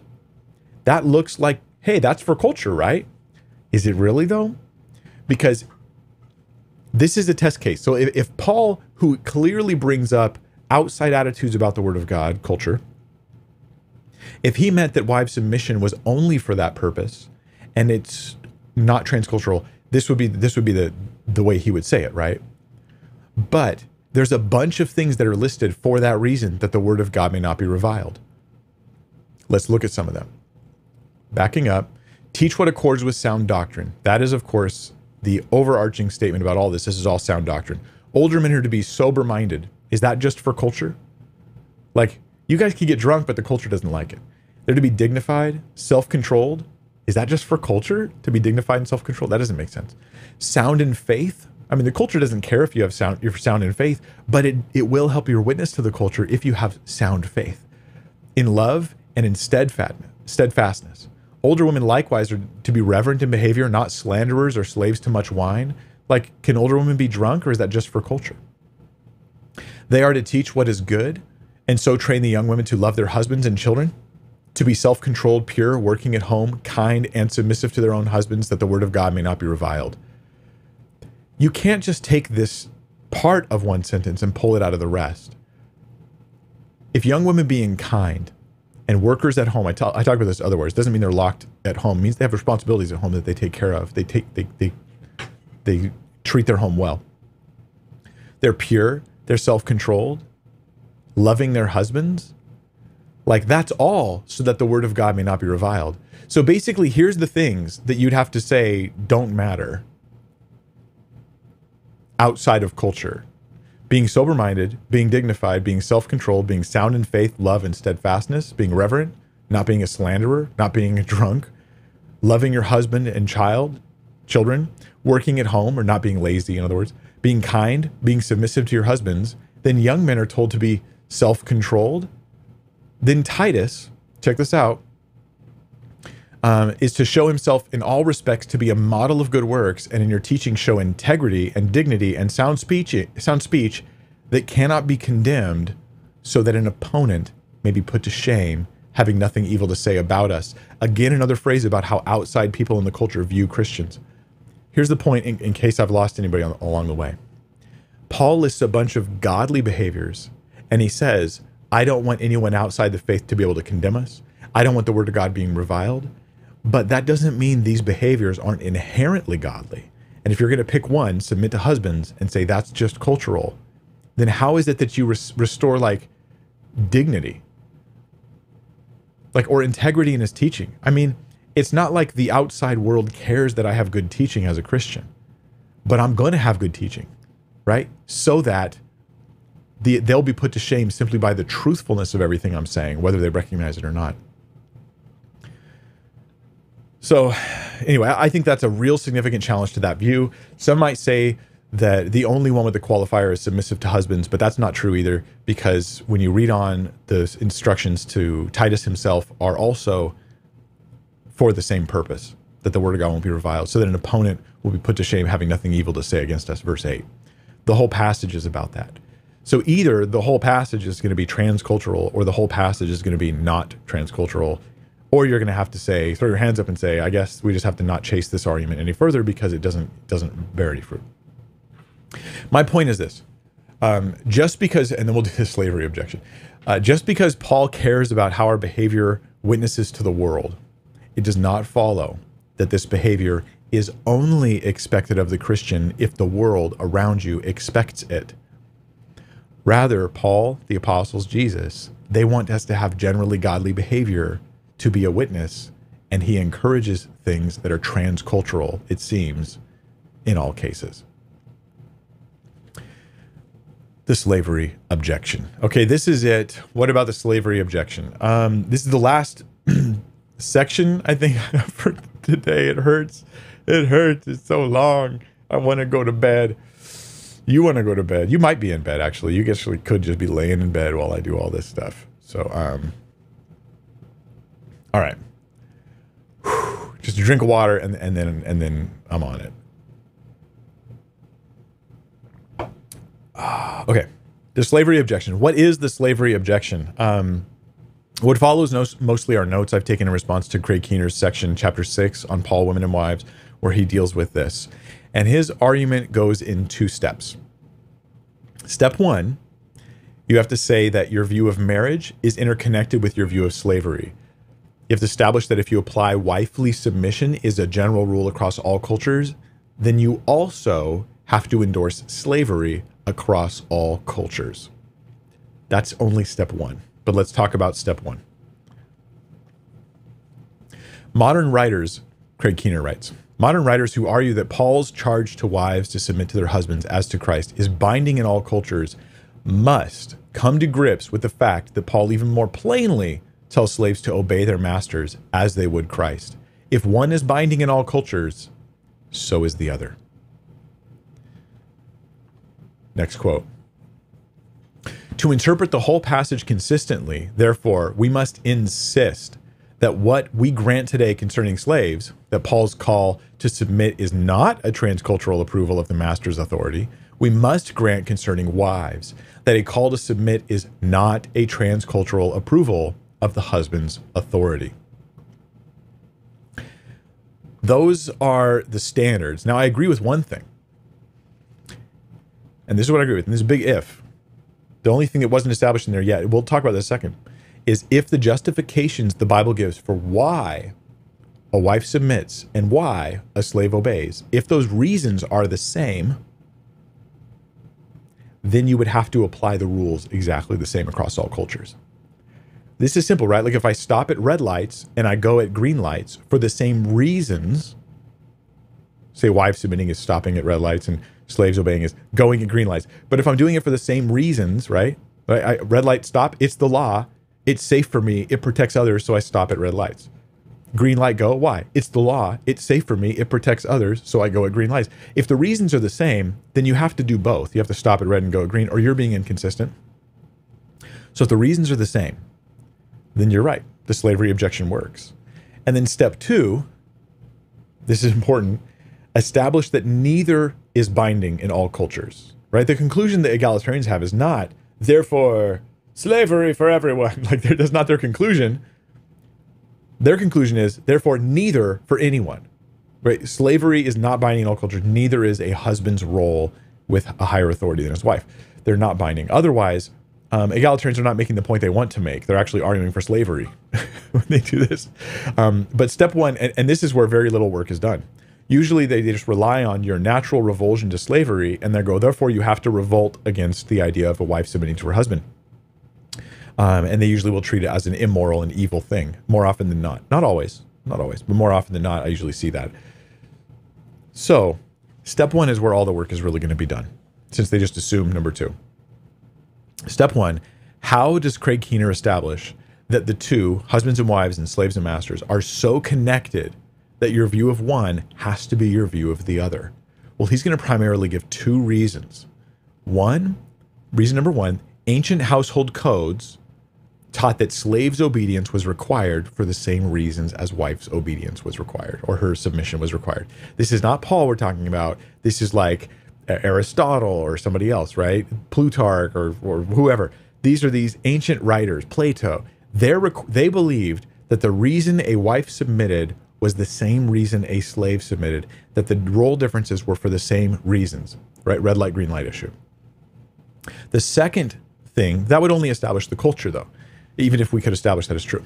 The second reason Keener gives for why um, these two are perfectly interconnected is he says the New Testament, the New Testament also says that slaves' obedience is required for the same reasons as a wife's obedience. This made my eyebrows go up, actually, all the way back to here. I lost hair because my eyebrows just went up so fast so far. that that the New Testament Bible, the Bible says a slave obeys for the same reasons a wife does. We'll talk about both of those reasons now. So first, let's go to a quote from Dr. Keener my beloved brother in Christ, who I feel bad about disagreeing with you so much here on these issues. And um, and Dr. Keener, if you want to talk to me, like I will make time. We can chat. Um, I'm not offering to do a, a, thousand videos with everybody I disagree with, but, but I'm just saying, as a brother, privately, me and you, we can talk. Um, here it says the arguments for sub- for the subordination of each were roughly the same in ancient household codes. And a brief examination of the relevant New Testament passages will show that they're roughly the same there as well. Now, I spend a lot of time on this because a lot of times egalitarian writers will talk about household codes, but they'll never quote household codes. You'll notice I haven't quoted many household codes. Most of them don't. Um, and so you end up kind of in that in that fog where a scholar just goes into the fog and he comes out with conclusions and he goes household codes, trust me, you know. So on this I had to dig a bit deeper. Are ancient household codes linking the idea that slavery and and uh, marriage have un- imbalanced authority based on the same principles. Dr. Keener gives one particular source. The only source he gives is from Aristotle's Politics. I'm going to put it on your screen for you. It's going to be a wall of text that you probably can't read unless you're on a computer and you make it real big um, or something that has a good screen. This is the, I've, I've, I've emboldened a few parts that are important. I'm not going to read this whole text to you. It's going to take too long, especially this point in the video, if, if we're here 27 hours in so far. So here's the conclusions from, from this text that Keener gives. Here's the evidence that ancient household codes held that the reason wives submitted was the same as the reason slaves did. This is this is this is the only ancient source given. And here's the analysis of it. Aristotle says that the male is by nature superior and the female is by nature inferior. That's Aristotle's claim. It's not my claim. Um, he also says, and and that, that that's by the way, that's the only reason he gives in this passage. This whole long passage, he never gives any other reasons for why a woman would submit or a wife would submit to her husband. He just says, men are by nature superior, females inferior. Then he talks a lot about slaves. He says slaves ought to be ruled by those who have greater reason. He doesn't use the superior inferior exactly language, but he says those who have greater reason.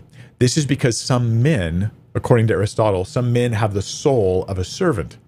He also thinks that this is independent of their bodies. This is not race based slavery. This is him looking around going, that guy has the soul of a servant, whether he is one or not. That guy has the soul of a master, even though he's a servant. How unfortunate that he was born into the body of a servant, but his soul is that of a leader, of a master. So this is independent from their body, since they may have the body of a free man, according to Aristotle, without the corresponding soul of a free man, or the body of a slave without the soul of a slave. They might have the soul of a free man. It's not clear that Aristotle thinks this is true of women. He just doesn't talk about it in this passage. So this passage seems like a strange proof text, even though it's quite long. Um, it's clear that the reason slaves, according to Aristotle, should be in submission to masters is because of a lower capacity for reason the person who has the greater reason and the more control over his passions is best to be in charge of others because it's safer for the one who has less reason and less charge of his passions. But it is not clear that this is the reason why men have more authority than women. He just says they are by nature superior. So I was reading Aristotle not something I do every week. Um, and I think that Craig Key, and, looking up for some scholarly work on Aristotle, what was Aristotle's view of men and women, the souls of men and women? Why are men and women? And I was digging into this and it came across the following quote. And I think that Dr. Keener may have misrepresented Aristotle on this issue. Aristotle, his only source that goes to quote to show that men and women, slaves and masters, that their situations were based on the same principles. I don't think he thought that at all look at what he said when he actually talked about the issue here. And I have a link in my notes. In fact, I've typed out the link just so you guys can go look it up yourselves. You can actually type in that link exactly. You will you will get to see this text. The free man rules over the slave after another manner from that in which the man rules over the female, or the man over the child. Aristotle thinks apparently these things are different. Although the parts of the soul are present in all of them, they are present in different degrees. For the slave has no deliberative function, uh, faculty at all. The woman has. The woman does have this, but it is without authority. And the child has, but it is immature. He sees the child in a temporary situation of immature authority or immature reasoning. He sees as the slave. Again, the slave doesn't even mean someone who is actually a slave, but the person who has that soul of someone who should be serving others these are Aristotle's views, not mine, guys. But just to be clear on them, he thinks that person is sort of permanently a fool. Like they're permanently not good at thinking and they're not good at controlling their passions.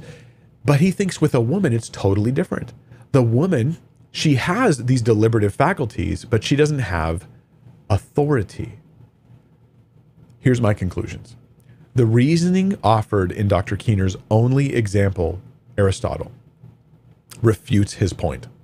Aristotle thought that the slave had a different capacity for reason, but that the woman was different. She could have had all the capacity for reason in the world, but didn't have authority in her in her relationship with this with her husband. Further, the slave soul was independent of being born into the body of someone who would end up being a slave, but that doesn't seem true with with the person who's a woman.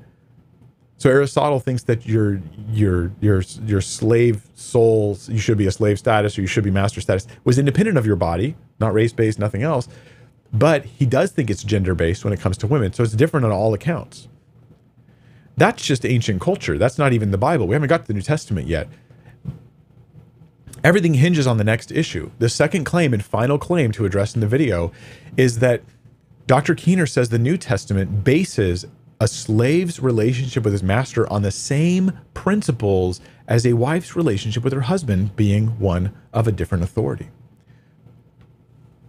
Sadly, in the entire book, even though the slavery objection is massive, and I hear it from egalitarian scholars everywhere, he never explains this. He never offers any justifications that the New Testament teaches that these they're based on the same principles. There's only one resource that Dr. Keener gives, and it's a, a, a, book by Kevin Giles that's out of print. I tried to get a hold of it. I couldn't even find it used. I couldn't find it anywhere. So I read another book from Kevin Giles, and um, and it, it wasn't there. The, the data was not there either. So I don't have access to whatever data is being used, but I have access to the Bible, and so do you.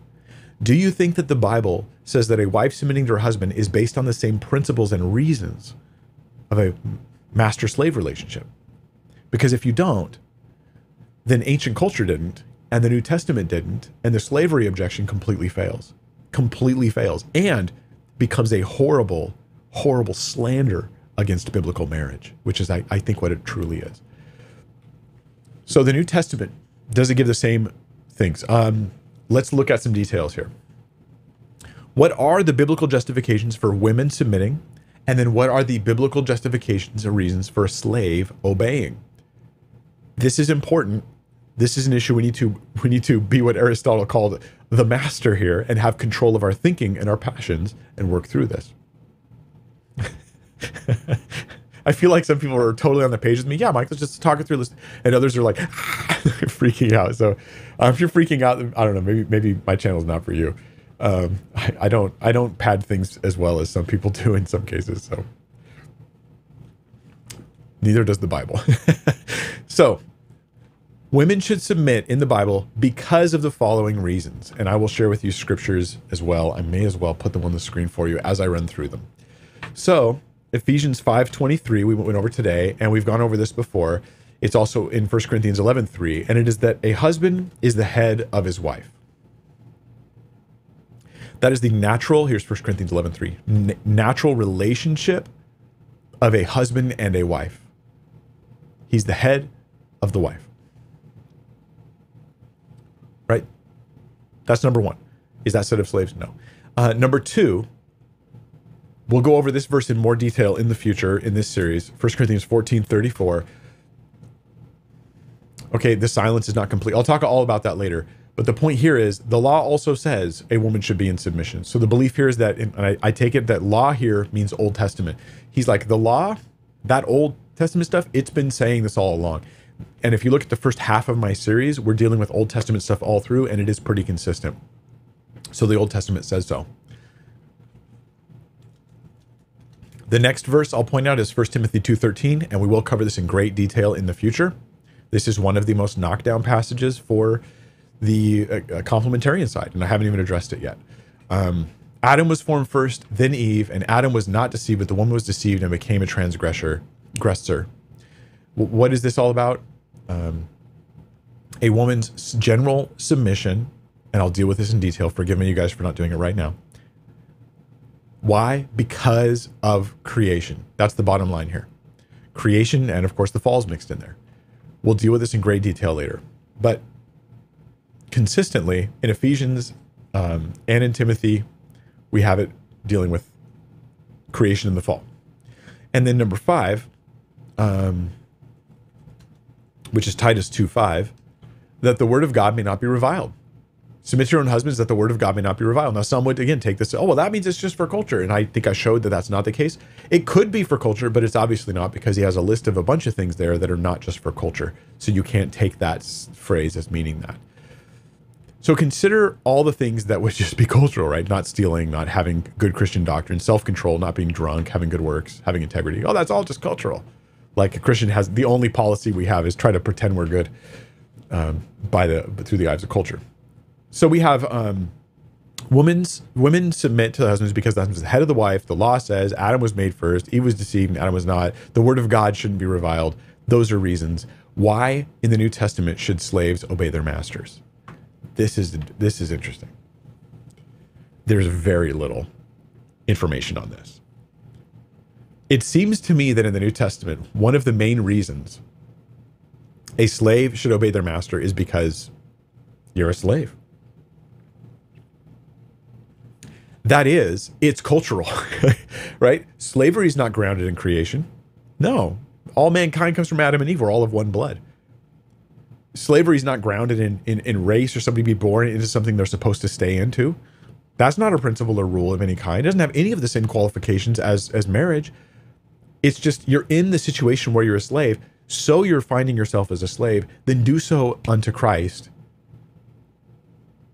That's the reason. Slaves should obey because they're slaves. Like you're in that situation. That seems to be a, a good case for a cultural thing. Um, in everything they might, uh, Titus 2 9 and 10, same passage we were dealing with earlier, says that they might adorn the doctrine of our God and Savior.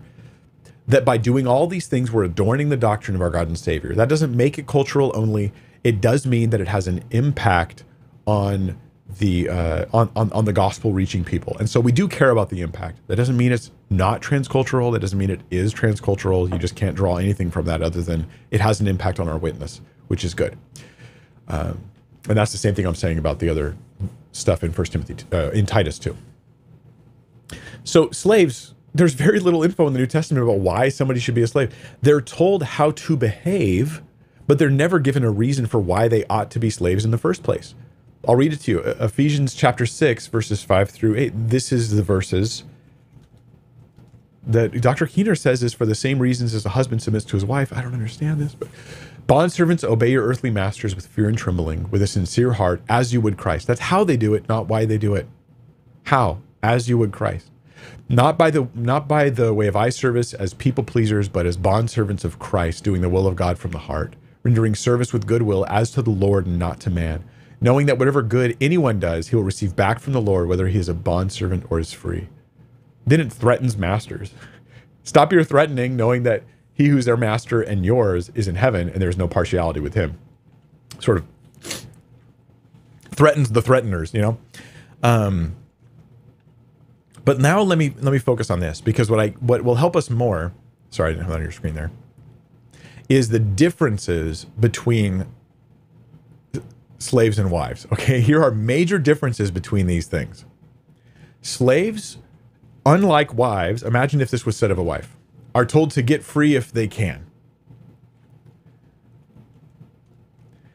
Were you called a bondservant when called? Don't be concerned about it. But if you can gain your freedom, avail yourself of the opportunity. Hey, if it works out and you can get free, go for it. If not, don't worry about it. You're, you could still serve Christ in that role. In other words, it's not great, guys. We're not excited about it. We're not. It's not. Oh, slavery is this great thing. You should just. It's God ordained. No, marriage is, but not slavery. If you can get out, get out. But if not, you're honoring Christ in the middle of it. Imagine if you told wives, "Are you married? Don't worry about it. But if you can get out of it, try to get out of it, please." slavery is obviously very different in the New Testament. I feel like it's almost slandering to the word of God to say that they're based on the same thing. Don't become slaves, also scripture says, if you can help it. Same passage, 1 Corinthians 7, verse 23, two verses down. You were bought with a price, do not become bond servants of men. Hey, if you're already a slave and you can get out, go for it. If you're not, if you can't, just serve the Lord well with where you're at. God's going to honor and bless you. God's going to reward you. But don't become a slave if you can avoid it. Why? Because slavery is considered a bad scenario in scripture, just like it's a bad scenario in anybody's reasonable mind. And and in addition to that, marriage is not considered this.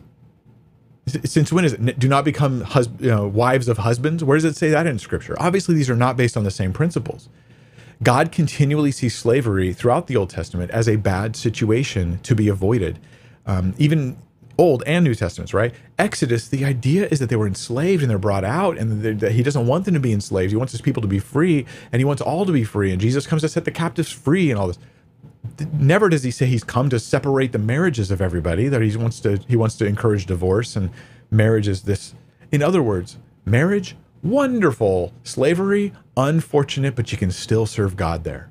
So the instructions to husbands and wives involve these tying it to creation and tying it to the nature of Christ and the church.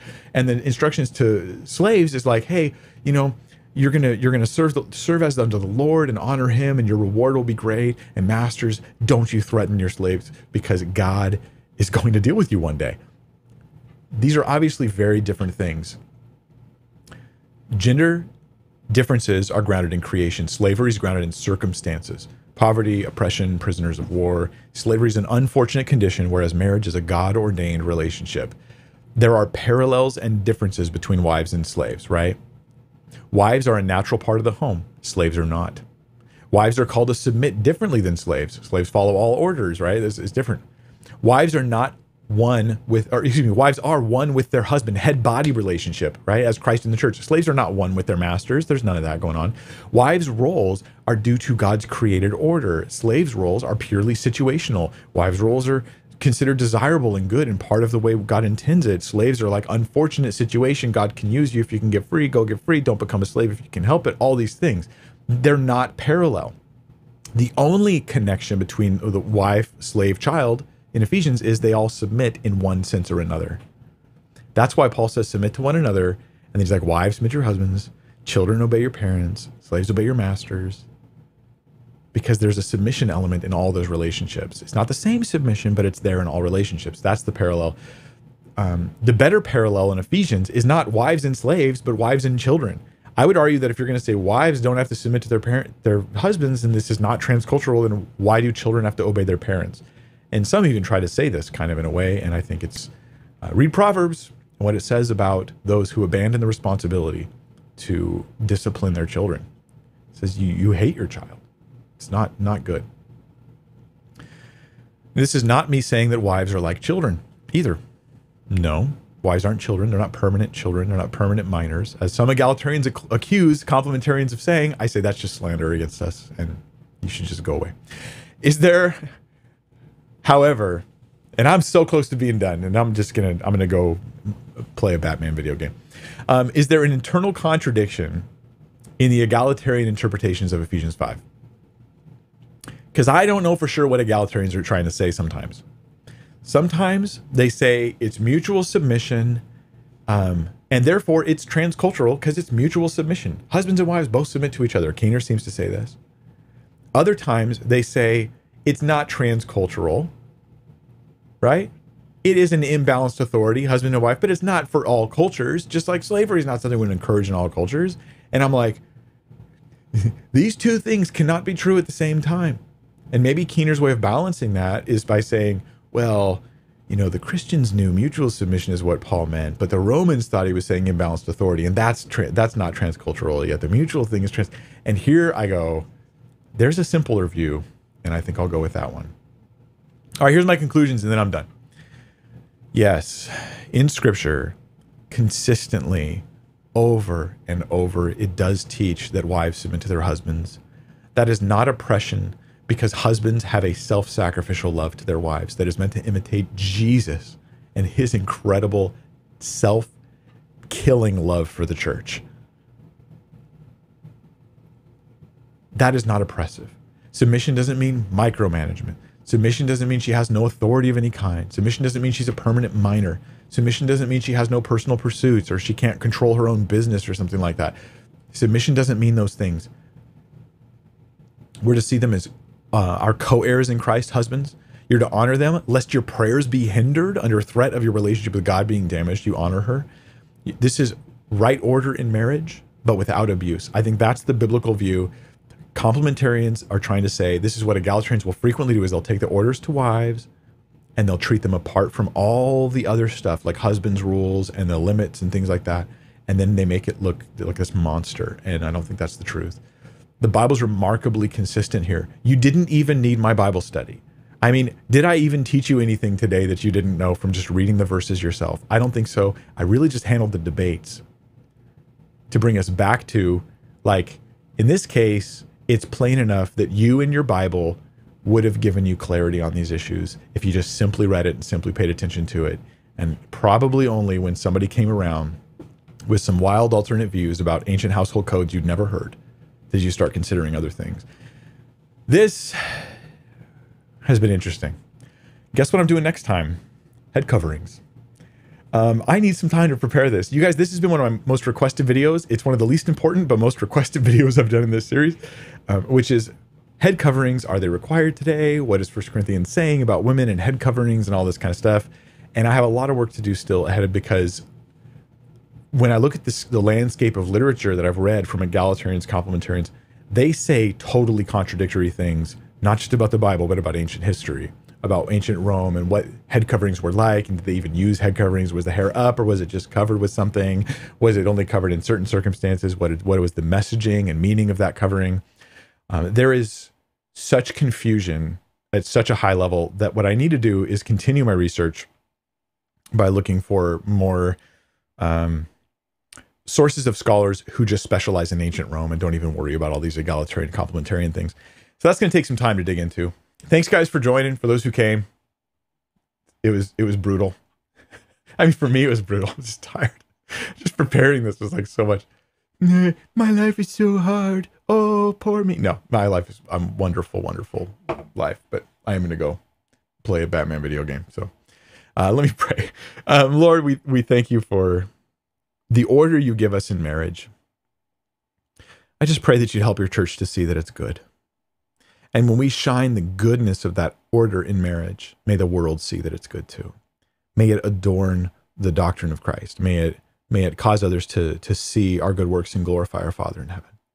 We pray that you would help husbands to take seriously their call to love their wives self sacrificially at all times. Not control, but love. that that's the focus, and that wives would see that their their call is is submission, that there is a, a yielding that happens there, and that doesn't devalue them. It's it's a way in which they serve their their Lord and Savior. In Jesus' name, Amen.